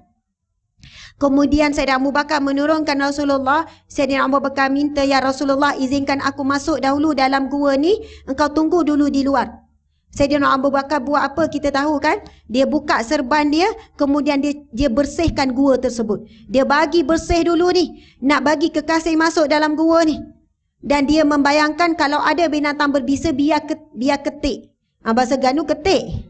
Biar biar gigit, biar ketik. Ha, baru sedap sikit. Biar kena ketik dia dululah. Biar gigit dia dululah. Apa-apa ada dalam gua tu biar dia yang kena dululah. Kalau kita dengan suami macam mana? Tempat yang menyeramkan. Bang, awak dulu, awak dulu. Saya takut ada lipas, saya takut ada cicak. Awak jalan dulu. Saya takut kok ada hantu ke apa ke kan? Tapi Abu Bakar subhanallah bila masuk ke dalam, dia bersihkan gua, kemudian dia racik-racik. Dia koyak-koyakkan serban dan dia tutup semua lubang-lubang. Tetapi ada satu lubang yang dia tak dapat tutup tapi kain dah habis. Itu yang kisahnya subhanallah bila duduk dalam gua tersebut, bila masuk dalam gua, Sayyidina Abu Bakar mempelawa, "Ya Rasulullah, duduklah di atas ribaku." Rasul kata, "Abu Bakar, engkaulah yang penat." Daripada tadi duduk kendong, bersihkan gua, buat semua itu Rasulullah duduk berdiri saja. Rasulullah tunggu. Bila masuk dalam gua, Ya Rasulullah, baringlah di atasku. Masya Allah, dia duduk bersela, so Rasulullah baring. Rasulullah kata, engkau lah yang penat, wahai Abu Bakar. Tidak, Ya Rasulullah, tidak. Aku tidak penat, Ya Rasulullah. Kemudian, baring. Sedang berbaring di atas, dibaan bapak mertua. Kita sekali-sekala boleh juga buat macam tu ya ibu-ibu sekalian. Panggil menantu yang kita rasa bengkak tu tidur atas riba kita. Mai tidur, tidur atas mak. Oh. Subhanallah. Ini adalah sunnah dalam bersahabat. Kadang-kadang kita rasa penat, kita rasa sedih dengan suami. Suami tidur atas uh, riba, kita penat tak suami tidur atas riba? Oh, laju je. Sekali-sekala isteri pula tidur atas riba kan. Sambil-sambil tu pegang kepala. Dah banyak uban awak ni ha. Nampak gaya dah tak lama dah awak pergi ni. Sekali-sekala kita berbual tentang kematian. Apa salahnya? Bang, dah banyak kan? Yalah dah banyak dah ni. Ya Allah, pasu suami pegang tangan. Ya Allah, tangan awak ni dah berurat-urat. Ya bang, dah tua. Saya baru perasan awak tua. Saya selalu nampak awak muda. Ha. Awak nak apa sebenarnya bang? Oh, tanya kan. Antara sunnah Nabi sallallahu alaihi wasallam dengan isteri baginda, diceritakan Aisyah yang bercerita hadis Aisyah, hadis yang sahih ya. Aisyah kata suatu hari aku dalam keadaan uzur. Aku dalam keadaan haid, jadi aku tak boleh masuk dalam masjid. Tapi kita tahu rumah isteri Nabi berada di sekeliling masjid. Tapi apa yang Rasul buat? Rasul menghulurkan kepalanya masuk dalam rumah Aisyah. Tahu tak Rasulullah buat apa? Rasul minta untuk disikat rambut. Rasul minta untuk disikat rambut, untuk diminyakkan lalu disikat rambut. Kadang-kadang isteri Nabi kata, Nabi meminta untuk diletakkan minyak rambut. Eh, minyak rambut pula, minyak wangi. Semua perbuatan tersebut Nabi boleh buat sendiri. Nabi boleh je sikat rambut sendiri. Boleh je pakai minyak wangi sendiri. Jadi Nabi nak tunjukkan contoh sekali-sekala walaupun perkara itu kita boleh buat sendiri, kita buat-buat tak boleh. Ha. Sekali-sekala bila nak bermanja, kita buat, kita minta dilayan ataupun kita buatkan kepada suami ataupun kepada isteri perkara yang sebenarnya pasangan kita boleh buat sendiri. Subhanallah. Jadi di antara sunnah Nabi sallallahu alaihi wasallam dengan isteri iaitu menyikat rambut, meminyaki rambut. Ada yang tanya ustazah, suami saya dah tua dah ustazah, dah tak ada rambut. Baru nak belajar buat sunnah Nabi, tak apa, sapu juga. Sapu minyak agak-agak tumbuh balik rambut. Masya Allah, kalau kita fikirkan, Ya Allah Rasulullah ni masa romantik dengan Aisyah ni, bukan umur dia muda ya. Rasul nikah dengan Aisyah umur 53. Dan bila saat akhir-akhir tu dah umur 63 macam ibu-ibu sekalian dah. Maksudnya bukan romantik orang-orang muda ni. Tetapi romantik Rasul itu kena kerana apa sifat rahmah, kasih sayang. Ha. Sekali-sekala kan kita pun berbual lah sambil tu bang. Kita bermuhasabah sambil sikat rambut. Rambut awak dah jarang ni bang. Ya Allah dah tua. Dah ada tanda-tanda ni. Kan antara tanda-tanda malaikat maut tu nak datang rambut dah putih. Lepas tu suami pun tak dengar. Ha ha apa dia? Ha ha. ha ini tanda yang kedua bang. Pendengaran kurang. A a a a, a. ni ah dah gagak pula bang. Tanda ketiga. Betul betul. Dah gagak pula bang. Tanda ketiga. Ha. Lepas tu suami nak naik kan, nak bangun daripada duduk tu, nak nak bangun payah kan. Ah ha, tanda keempat bang, lutut dah longgar. Subhanallah, ini daripada satu hadis Nabi sallallahu alaihi wasallam. Satu ketika Nabi Muhammad bertanya, "Ya Rasulullah, Nabi Muhammad bertanya kepada malaikat maut, "Wahai malaikat maut, kamu apabila nak mengambil nyawa kamu bagi signa bagi tanda tak?" Malaikat maut sesungguhnya aku mengantarkan pelbagai tanda apabila ajar seseorang itu nak dekat dah.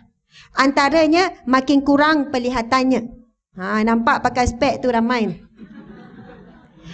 Kita biasa bukan pakai spek sajalah yang tak pakai spek pun memang mata kita tak apa-apa nampak dah.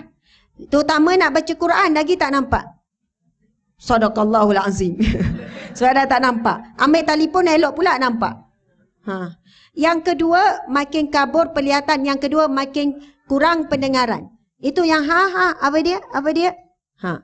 Kemudian makin gagap percakapan. Dulu kan boleh membebel satu jam tanpa henti. Sekarang hmm, malah dah saya nak cakap apa. Padahal dah tak ada idea loading dah. Kemudian ha makin mas, ma, makin sakit tubuh badan, tak makin cergas. Kita kembali seperti baby dahulu. Baby kan masa lahir tak berapa nampak, telinga tak berapa dengar, tak boleh berjalan lagi kembali semula seperti waktu kita baby. Akhirnya kita fana, kita tak mampu buat apa iaitu nyawa ditarik oleh Allah Subhanahu Wa Taala. Jadi kadang-kadang bila kita dengan suami isteri masya-Allah sekali-sekala perlu berbual-bual berkenaan dengan kematian, berkenaan dengan akhirat dan sebagainya. Ha, masya-Allah. Okey. Ada perkara yang saya tertinggal ke cerita ke? Tak ada ya? Ha. Okey, seterusnya nak cerita pasal Abu Bakar tadi tu. Kemudian ceritanya kan, kita dah tahu semua cerita Abu Bakar ni. Abu Bakar buat apa? Tutup satu lubang yang masih terbuka itu dengan kakinya. Dia tutup dengan tapak kaki ke uh, demikianlah. Dia tutup dengan anggota badannya. Tiba-tiba dia disengat. Ketika sengat sudah menjala kepada seluruh tubuh, Abu Bakar tetap tidak menggerakkan sedikit pun badannya. Dia bimbang, bimbang Rasulullah sallallahu alaihi wasallam terkejut daripada tidur. Tetapi kerana betapa sakit tu kuat sangat sakit tu Abu Bakar buat apa? Abu Bakar menangis, tak boleh tahan keluar air mata, sakit sangat. Tapi badan tak gerak ni, takut Rasulullah bangun. Tapi air mata tak boleh ditahan lagi menitik jatuh ke atas wajah Rasulullah sallallahu alaihi wasallam. Ketika itulah Rasulullah pun bangun, kemudian bila Rasulullah bangun, Rasulullah tanya, "Wahai Abu Bakar, apa yang kamu kenapa dengan kamu?" Barulah Abu Bakar cerita dan Rasulullah mengambil air liurnya, meletakkan di kawasan yang disengat tersebut kemudian sembuhlah daripada sengatan. Dan Abu Bakar kata kaki itulah tak pernah sakit lagi lepas tu. Walaupun dah makin tua kaki sebelah tu rasa penat-penat juga. Tapi kaki sebelah yang ditawarkan yang diruqyah oleh Rasulullah itu tak pernah sakit lagi selepas itu. insya-Allah jadi itu satu cerita yang pendek, cerita yang ringkas tentang pengorbanan Sayyidina Abu Bakar menunjukkan kecintaan kepada Rasulullah. Itu juga sebagai bukti kecintaan kepada Allah. Persoalan di sini kita ada tak bukti kita cintakan Rasulullah sallallahu alaihi wasallam. Saya nak cerita kisah yang seterusnya sahabat Nabi yang bernama Ja'far At-Tayyar. Ja'far At-Tayyar. Ja'far ini satu dalam satu medan perang dia diberi tugas. Tugas apa? Untuk membawa panji. Panji Islam, bawa bendera. Ha, kan? Bawa bendera putih sebagai tanda Islam maksudnya kemenangan ataupun kekalahan. Ha. Jadi ceritanya dalam perang saya tak ingat perang apa, mohon maaf. Dia bawa, dia bawa panji ni, orang dah tahu ni. Dan para musuh dah tahu nak attack siapa. Kena attack bawa panji ni. Mereka biasanya akan siasat siapa yang akan bawa panji ni. Jadi ketika dia bawa tu, datanglah musuh uh, musuh Islam, datanglah musuh memotong tangan kanan yang memegang tu dengan dengan libasan pedang. Potong, pap, potong. Kemudian bila jatuh dia terus ambil dengan tangan kiri. Dia terus sambar dengan tangan kiri. Bila sambar dengan tangan kiri dipotong pula tangan kirinya. Kemudian bila dah potong tangan kiri, dia ambil uh, bendera tersebut dia kepit pula di celah ketiak kanannya. Kemudian dia dipotong pula ketiak lengan kanan, kemudian dia pegang pula dengan ketiak sebelah kiri. Kemudian dipotong dilibas pula, akhirnya dia pegang dengan lehernya. Ada yang kata pegang dengan gerahamnya. Dia teruskan juga dalam keadaan darah memancuk-mancuk keluar. Akhirnya musuh memotong lehernya. Na'udzubillah min zalik. Ah, bukan saya nak sebut na'udzubillah min zalik. Supaya nak sebut subhanallah Allahu Akbar. Masya Allah. Begitulah hebatnya perjuangan dan pengorbanan para sahabat Nabi SAW dan pengorbanan Nabi SAW untuk menyampaikan Islam kepada kita pada saat ini. Hari ini kita menikmati nikmat Islam ini dengan air mata, air darah air keringat dan kematian para para sahabat-sahabat Nabi sallallahu alaihi wasallam. Bila saya sebutkan begini saya teringat pula gambaran gambaran uh, di muka bumi hari ini ramai umat Islam di beberapa sudut dunia mempertahankan Islam dengan nyawa mereka. Kita tahu kan? Kita di Malaysia ni masya-Allah soalannya Islam ataupun iman kita ni tidak teruji tidak teruji dengan ancaman-ancaman seperti ini. Contoh wanita-wanita diuyurkan, mereka teruji dengan apa? Nak tutup aurat tapi dipaksa buka tudung. Nak pakai baju labuh digunting supaya pakai baju tu singkat. Dipaksa untuk dedahkan aurat. Kita pula di sini tak ada halangan langsung untuk menutup aurat. Tapi ramai lagi muslimah kita tak tutup aurat. Di sana pula nak solat dihalang. Nak solat tak dibenarkan. Kita pula memang dibenarkan untuk solat. Tapi kita berat untuk solat-solat. Terutamanya solat sunat lah. Kemudian lelaki di sana pula dipenjara, ditangkap tanpa ada perbicaraan. Wallahualam saya pernah baca dikatakan dalam penjara tu lebih kurang satu juta lelaki Muslim Uyghur, etnik Uyghur. Dan mereka diseksa dengan pelbagai seksaan. Mereka tak nak bagi mati. Bukan mereka bunuh, tembak apa semua. Mereka nak seksa sampai mereka tak boleh fikir dah cara macam mana lagi nak seksa. Cabut kuku hidup-hidup.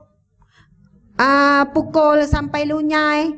Rendam itu, duduk berdiri sampai beberapa hari tanpa duduk, tanpa apa. Duduk di tempat yang sempit, kepala ke bawah. Apa-apa yang mereka boleh buat untuk diseksa. Akhirnya mati bukan mati mudah tapi mati dalam keadaan terseksa. Dan ada juga diceritakan wallahualam benar atau tidak tapi saya baca berita-berita tu ramai mana lelaki uyur ini dibelah hidup-hidup untuk ambil uh, organ. Dibelah hidup-hidup je. Sebab apa kalau nak buat prosedur apa-apa semua tu prosedur tu makan masa, prosedur tu juga uh, makan belanja dan mereka memang sangat kejam, mereka belah hidup-hidup ambil hidup-hidup saja. Kita kalau belah sikit hidup-hidup tak tahu apa jadi. Ini belah untuk ambil organ utama hidup-hidup. Tak boleh bayang betapa seksanya mereka nak mempertahankan iman dan Islam yang ada pada diri mereka. Mereka mempertahankan dengan nyawa mereka. Kita ni iman kita, Islam kita di sini hari ini tidak teruji. Kita cabaran kita nafsu kita saja. Jangan salahkan jin syaitan lah. Sebenarnya nafsu kita yang lebih besar daripada bisikan-bisikan jin dan syaitan. Masya Allah. Nafsu amarah kita. Nak marah dengan orang tu, nak marah dengan orang ni, tak puas hati dengan suami, tak puas hati dengan anak, tak puas hati dengan apa yang ada sekeliling kita, nak lebih lagi dan sebagainya. Tak puas hati riza anak kita sekian-sekian. Banyak benda kita tak puas hati. Wanita di sana diceritakan setiap rumah ni adalah suami ditangkap. Anak juga ditangkap. Pernah baca tak? Anak-anak etnik Uyo ni umur lima tahun, dajah berapa pun anak-anak mereka ditangkap juga dan mereka kata akan dibawa berada di sebuah asrama mereka dapat pendidikan kononnya macam itulah. Tapi mereka memegang gambar anak-anak mereka dah tak jumpa empat tahun, lima tahun, ada lebih lama daripada tu. Dia kata itulah kali terakhir saya melihat anak kami, mereka kata mereka ambil untuk dibawa duduk di asrama untuk diberi pendidikan. Tapi kami dah tak jumpa, kami dah tak tahu apa berlaku pada anak-anak kami. Anak diambil, suami diambil. Akhirnya wanita uyu yang berada di rumah, setiap di rumah itu ada lelaki-lelaki dari kalangan maksudnya Cina ni, di kalangan tentera ni akan duduk di situ. Wallah alam tentera ke apa. Tetapi mereka menjadi pemuas nafsu mereka. Wanita muslim di sana dirogol setiap hari. Kanak-kanak perempuan dirogol dan sebagainya. Subhanallah. Pun begitu mereka masih bertahan mempertahankan agama Islam. Tak tahu kalau kita berada di tempat mereka wallahu alam tak tahulah. Mungkin nauzubillah ketika itu mungkin kita menyatakan bahawa kita keluar ke dan sebagainya, tapi mereka tetap teguh. Tengok bulan Ramadan, tengok gambar-gambar yang menyayat hati mereka buat apa? Mereka ikat. Mereka buat ikat dua-dua macam tu. Saya tengok ada gambar tu. Lepas tu mereka rendam dalam kolah. Mereka rendam. Dia ikat kaki dan tangan dia rendam supaya air masuk ni. Supaya batal puasa. Ha. Mereka letak paip air yang besar buka air kuat-kuat supaya minum. Sampai macam tu sekali. Memang sebenarnya musuh Islam sangat takut kebangkitan umat Islam. Kalau mereka kalau boleh mereka nak menghapuskan. Kini mereka nak menghapuskan umat Islam berada di mana-mana sebab mereka sebenarnya dalam jauh daripada sudut hati mereka yang dalam itu mereka percaya suatu hari Islam akan menguasai dunia ini. Islam akan menjadi satu kuasa yang paling besar sekali. Sebab itu mereka berusaha sedaya upaya. Masya Allah. Sebab itu wahai para muslimin muslimat sekalian, kalaulah mereka sebegitu sekali berkorban, para sahabat Nabi berkorban untuk agama Allah, berkorban itu ini bahkan berkorban diri mereka. Dan kalau kita lihat wanita-wanita Islam di seluruh dunia ada sampai peringkat begitu sekali. Apakah pengorbanan kita untuk agama Allah? Kita sejauh mana kita berkorban harta kita? Sejauh mana kita berkorban masa kita? Dan kalau saya tanya satu soalan, ada tak di kalangan kita pernah mengislamkan non-Muslim? Pernah tak di kalangan kita mengislamkan seorang je non-Muslim? Hmm. Sedangkan itu adalah satu perjuangan setiap umat Islam. Dan itulah harapan yang ditinggalkan oleh Rasulullah sallallahu alaihi wasallam. Sebab tujuan Rasulullah, sahabat Nabi berkorban harta, nyawa semua itu supaya Islam ini tersebar kepada seramai mungkin manusia di atas muka bumi Allah. Hari ini manusia ada lebih kurang 6 bilion, hanya 1 bilion saja Muslim, 5 bilion lagi musyrik, mensyirikkan Allah Subhanahu Wa Taala. Padahal hari ini umat Islam ada kekuatan. Kalau kita tengok Malaysia ni kita ada kekuatan yang banyak. Kita ada jabatan agama, kita ada majlis agama, kita ada menteri agama, kita ada masjid yang banyak, kita ada imam yang banyak, kita ada ustaz-ustazah yang ramai. Pengajar Islam termasuk saya lah. Kalau orang tanya ustazah pernah tak Islamkan orang? Sudah nak jawab ke tak ni? Saya pun tak pernah mengislamkan walaupun seorang Muslim. Malu saya nak jawab. Malu. Ceramah kan main hebat lagi. Kan main beria lagi. Hari-hari ceramah. Ada ada pernah satu ketika seorang hamba Allah ni kan jumpa saya. Ustazah. Ustazah ceramah sana sini. Ustazah cuma membaikkan orang baik ya. Sebab apa cakap macam tu? Sebab orang yang datang ceramah biasa orang baik-baik dia kata. Saya fikir betul juga. Ustazah menyebarkan dakwah di kalangan orang Islam saja. Bila ustazah nak sebarkan dakwah di kalangan bukan Islam? Dan subhanallah bulan 12 ini Allah bagi saya peluang dan saya bila ada niat, bila ada niat baru peluang itu datang. Setelah Maulid Rasul kali ini saya selalu sebut pasal ni, ada kumpulan non-muslim nak ha, nak nak aturkan nak jemput saya ceramah di kalangan non-muslim saja di Sarawak. Sarawak ke Sabah? Saya rasa Sarawak. Maksud dia bagi tahu awal-awal audiennya ada di kalangan non-muslim saja. Jadi dia kata Ustazah nak sampaikan ceramah apa? Saya kata kasih sayang. Itu je. Maksudnya bawa cerita bab kasih sayang saja. Sebab semua itu non-muslim kan. Jadi dalam bab ini kan saya pernah jumpa dengan Ustaz Abid Liu. Kenal Ustaz Abid Liu kan? Saya tanya dia sebab saya dah mula takut. Saya kata nak cakap apalah dengan non-muslim ni. Dan dia pula kita lihat kalau siapa follow dia hampir setiap minggu pun ada orang masuk Islam melalui dia. Kejap-kejap ada orang masuk Islam, kejap-kejap orang masuk Islam. Saya tanya Ustaz, Ustaz buat macam mana orang nak masuk Islam ni? Ustazah, saya tak buat apa-apa pun dia jawab. Saya dah buat apa-apa pun Tapi macam mana dia orang boleh nak cari ustaz Dia orang mesej saya nak jumpa Dan biasanya dia orang nak jumpa Dia orang ada niat nak masuk Islam Cuma dia orang masih ragu-ragu saja. Okey, sepanjang ustaz cakap dengan mereka Ustaz cakap apa Akhirnya mereka nak masuk Islam Dia kata Ini saya share lah sikit tip dia ha, Tapi sebenarnya dah ramai pun yang tahu Dia kata Ustazah saya cuma cakap Allah sayang kamu Betul tak ayat dia ha. Semua orang dah hafal ayat tu kan Memang skema dia macam tu lah. Tapi dia cakap daripada hati. Allah sayang kamu, Tuhan saya, Allah sayang kamu. Ha. Dia tak sebut pasal akidah apa semua. Allah sayang kamu. Nabi Muhammad, Nabi saya, Nabi Muhammad sayang sangat dekat kamu. Nabi Muhammad nak sangat jumpa kamu. Nabi Muhammad nak sangat kamu masuk syurga bersama-sama dengan dia. Nabi Muhammad tak pernah pun mendoakan kamu supaya masuk neraka. Nabi Muhammad, dia pun cerita pasal Nabi Muhammad. Nabi Muhammad sekian-sekian. Kamu juga umat Nabi Muhammad. Cerita yang baik-baik tentang kasih sayang. Dia pun cerita tentang Nabi Muhammad dengan isteri sampai orang tu kagum. Oh, Nabi Muhammad macam tu ya dengan isteri? Ya. Nabi Muhammad dengan kawan-kawan pula macam ni. Oh, sampai macam tu sekali? Ya. Nabi Muhammad dengan orang miskin. Nabi Muhammad dengan uh, dengan uh, orang musyrik.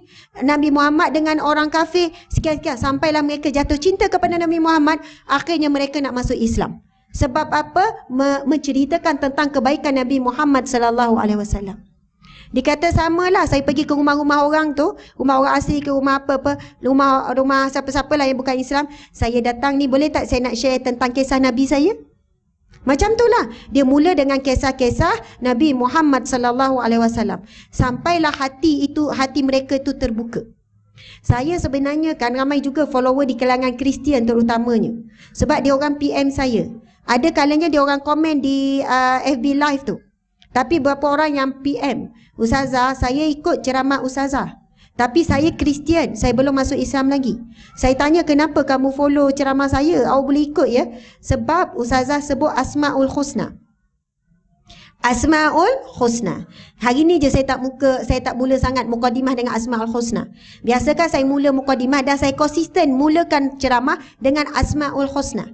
Saya kata kenapa kamu tertarik ya? Saya tak tahu kenapa tapi bila ustazah sebut nama-nama Allah, hati saya terpanggil-panggil untuk dengar. Nak cakapnya hati setiap manusia naluri kemanusiaan non-muslim semua makhluk sebenarnya ada naluri untuk bertuhankan kepada Allah Subhanahu wa taala nalurinya untuk mencintai Rasulullah sallallahu alaihi wasallam. Masya-Allah. Ada seorang sahabat saya ni dia berjiran dengan non-muslim lah. Akhirnya satu keluarga masuk Islam. Asbab akhlak sahaja. Dia kata saya tak buat apa-apa pun Ustazah. Saya tak ada cerita pasal Islam. Saya tak pernah ajak mereka pasal Islam. Tapi saya selalu ajak mereka datang rumah untuk makan-makan. Bila mereka ajak makan pun saya pergi. Tapi saya dah cakap awal-awal lagi sekian-sekian. Bila saya ajak mereka datang rumah, saya sediakan makanan-makanan uh, Cina lah. Kemudian uh, bila uh, ada sambutan apa-apa, saya meraihkan mereka. Hari lahir saya bagi hadiah. Maksudnya mereka buat macam keluarga. Akhirnya satu keluarga masuk Islam sebab apa? Islam. Masuk Islam sebab apa? Menikmati nikmatnya kasih sayang dalam Islam. Dan, dan mungkin kita kan duduk sini berjiran dengan non-Muslim apa kita boleh guna kaedah tu juga. Masya Allah, subhanallah. Lepas tu Ustaz Ibilu kata sebenarnya umat Islam hari ni masalah sebenarnya kenapa kita sepatutnya kalau semua buat kerja lagi ramai orang masuk Islam. Betul tak? Kalau semua ada niat untuk meramaikan umat Islam, semua orang taman kita tu insya-Allah masuk Islam. Tapi masalah tak ada niat. Tak ada dalam satu hari kita bangun tidur kan. Ya Allah, mudah-mudahan hari ni aku ada Islamkan orang. Tapi dalam kepala dia sebab dia mualaf, dia merasai bagaimana nikmatnya dapat Islam, dia punya fikiran dia hari-hari mesti nak ada orang masuk Islam. Jadi dia ada niat, dia ada nekat. Jadi Allah mudahkan dia. Akhirnya orang yang nak masuk Islam cari dia. Sebab itu saya kan selama ni saya tak ada fikir bersungguh sangat. Tapi akhir-akhir ni saya mula fikir dan tiba-tiba je ada je orang non-muslim hubungi saya. Tiba-tiba je dapat tawaran ceramah, minta ceramah kepada non-muslim. Saya kata rupanya bila kita ada pasang niat, kemudian kita doa, Ya Allah, sebagai tanda cintaku kepada Rasulullah, aku nak mengislamkan orang bukan Islam.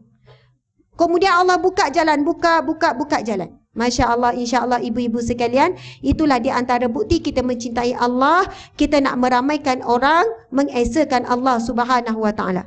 Pukul berapa ni sekarang? Dah dekat pukul 4 dah, maksudnya dah dekat 2 jam lah ya. Ha. Insya Allah ada masa sikit lagi, dalam 10 minit boleh ke? Ha, saya nak minum air sikit ya. Azan pukul berapa ya? 4.20.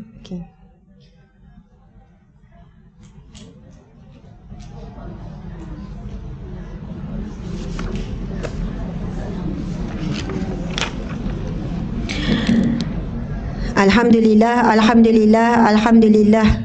Syukur kepada Allah Subhanahu Taala. Sebagai penutup kuliah pada hari ini, saya mohon maaf lah kalau macam tak terarah je, main cakap je.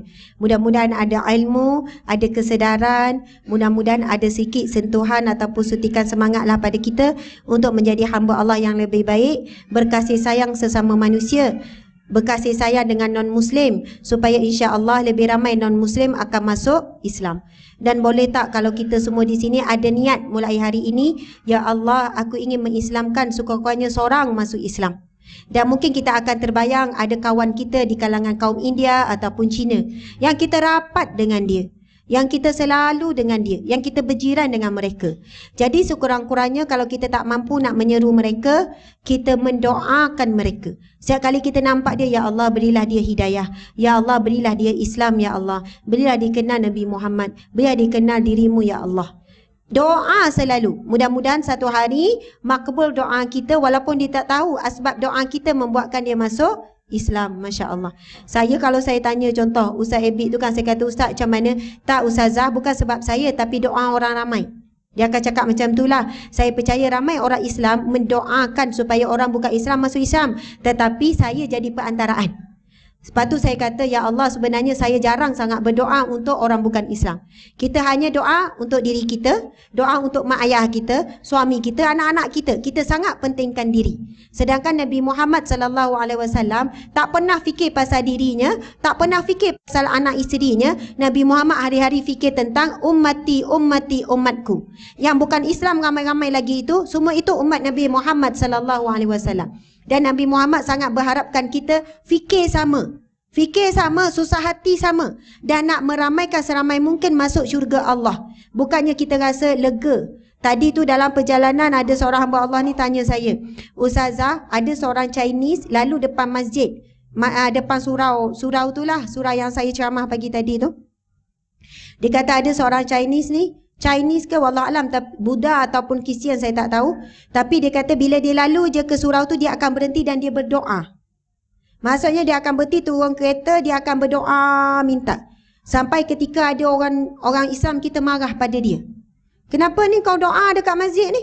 Kenapa doa kat surau ni? Doalah kat tokoh kau macam itulah doalah dekat minta lah kenapa nak doa dengan Tuhan kita ni jadi akhirnya dia kata dia pun tak setuju bila orang marah dia macam tu. Sebenarnya orang yang dah ke arah seperti itu, dia dah mula berdoa sebenarnya naluri dia dah terpanggil-panggil.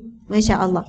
Dan saya ada cerita dalam tempat lain, banyak tempat dah tapi saya suka hati juga untuk gembiranya untuk cerita juga dekat sini. Kisah ada seorang mu'alaf India masuk Islam. Dia seorang pembunuh upahan ketika dia belum Islam dahulu. Masa dia nak tidur tengah malam, dia tak dapat tidur. Kisah benar lah ni. Kisah yang terbaru juga saya dapat. Kawan dia bercerita kepada saya. Ha, kawan baik dia. Dia kata Ustazah bolehlah share dalam ceramah supaya orang Islam kita ada kesedaran. Ha. Dia kata dia pembunuh upahan. Dia banyak. Dah ramai dia bunuh orang. Kemudian ceritanya akhirnya dia tak dapat tidur waktu malam seolah roh tu datang mengganggu. Dia pergi jumpa doktor, ambil pil tidur pun tak boleh tidur, buat rawatan apa pun tak boleh tidur. Akhirnya dia tanya kepada seorang muslimah wanita Islam, apa nak baca ni supaya dapat tidur? Wanita ni bagi doa la ilaha illa anta subhanaka ini kuntu minaz zalimin. Doa Nabi Yunus. Ha, dia kata bacalah yang ni insya-Allah lah kamu boleh tidur. Ha kan. Akhirnya dapat tidur. Dapat tidur ceritanya. Lepas tu yang lelaki ni pun tanya, "Kamu bagi aku jampi apa? Baca apa ayat apa?" Bila ditanya, yang muslimah ni pun jawab, yang dibaca adalah doa dalam Islam. Firman Allah dalam Al-Quran, doa Nabi Yunus.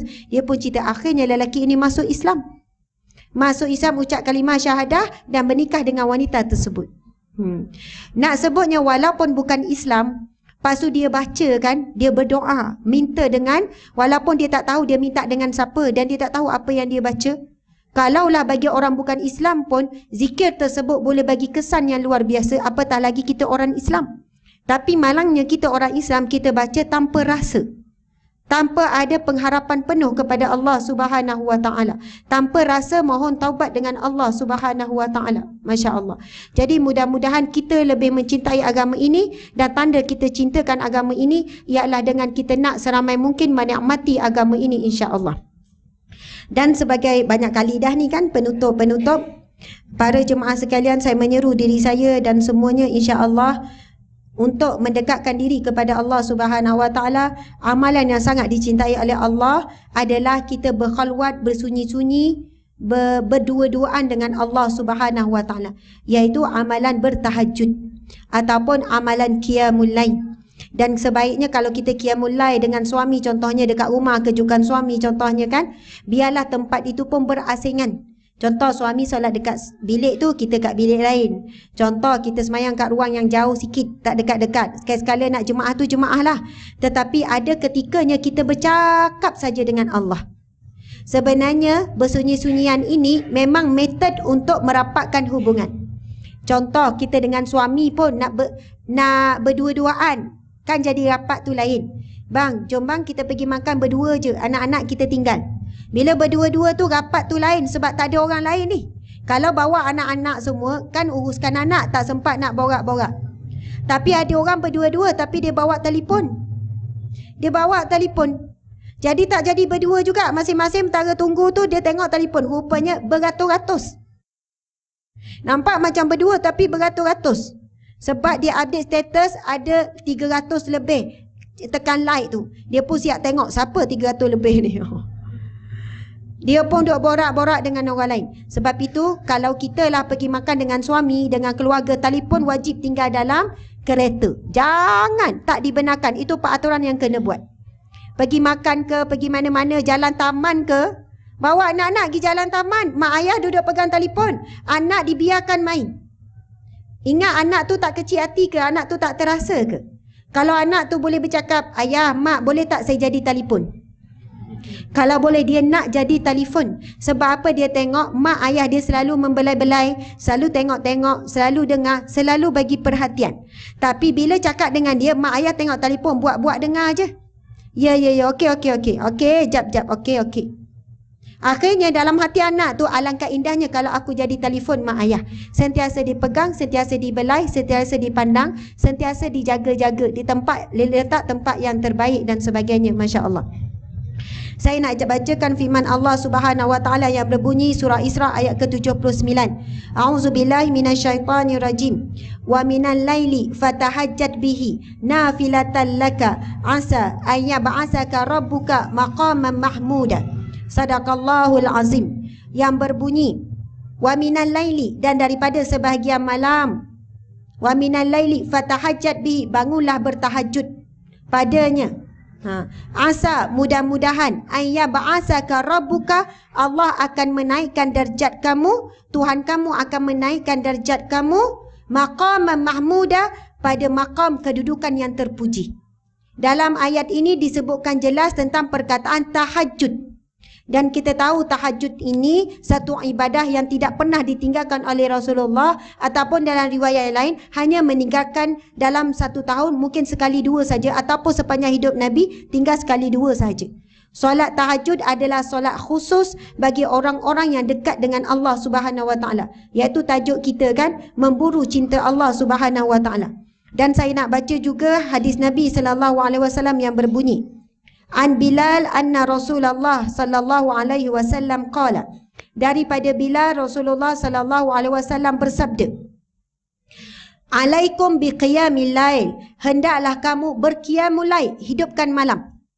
Fa innahu da'bu salihin kerana ia adalah sunnah adab ataupun akhlak orang-orang soleh qablakum yang sebelum kamu Wa inna qiyamal lail sesungguhnya qiyamul lail itu qurbatun ilallah mendekatkan kamu dengan Allah.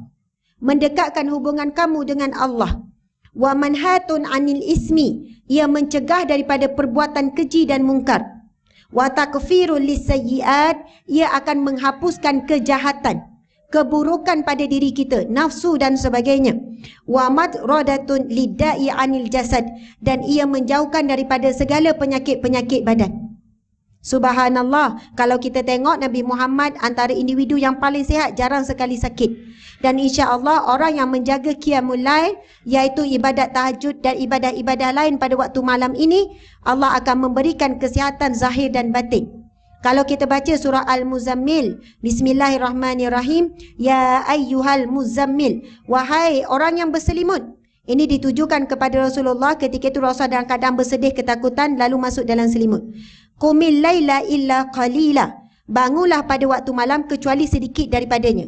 Maksudnya Nabi dituntut untuk bangun sebahagian besar malam, sikit saja tidur untuk dapat rehat. Hmm. Lagi sambung lagi nisfahu awil qus minhu qalila ataupun separuh ataupun lebih kurang daripada tu. Jadi kita ada berapa pilihan ibu-ibu sekalian. Satu per tiga malam ini ada orang ambil awal malam. Ada orang ambil tengah malam. Ada orang ambil hujung malam. Kita ambil yang mana? Ha, kebanyakan kita hujung malam tu lah. Yang hujung tu, dekat subuh tu baru kita bangun.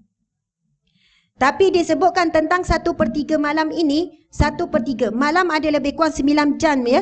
Sembilan jam. Start daripada isyak sampai ke subuh. Jadi satu per tiga, tiga jam awal ataupun tiga jam tengah ataupun tiga jam di hujung. Jadi tiga jam awal lebih kurang lapan setengah lepas isyak sampai pukul dua belas. Pertengahan pukul dua belas sampai pukul tiga. Kalau hujung pula pukul tiga hingga pukul lima setengah masuk subuh tu. Jadi kalau ikut betul kita nak hidupkan malam tiga jam yang terakhir tu. Tapi kita tak mampu, kita ambil satu jam. Tak mampu juga ambil setengah jam. Tak mampu juga sepuluh minit sebelum Ustazah. Barulah saya mampu bangun. Alhamdulillah.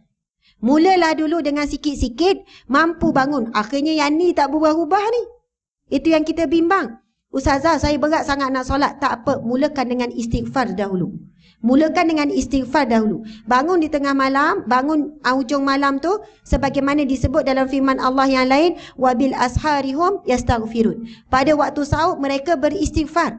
Ini juga golongan yang menghidupkan malam. Bila sebut qiyamulai, hidupkan malam, tak semestinya tahajud. Tetapi tahajud adalah ibadah khusus pada waktu malam yang paling afdol untuk kita solat. Sebab apa? Solat taubat boleh buat waktu lain. Solat hajat boleh waktu lain. Baca Quran zikir boleh waktu lain. Tapi tahajud hanya buat pada waktu malam sahaja.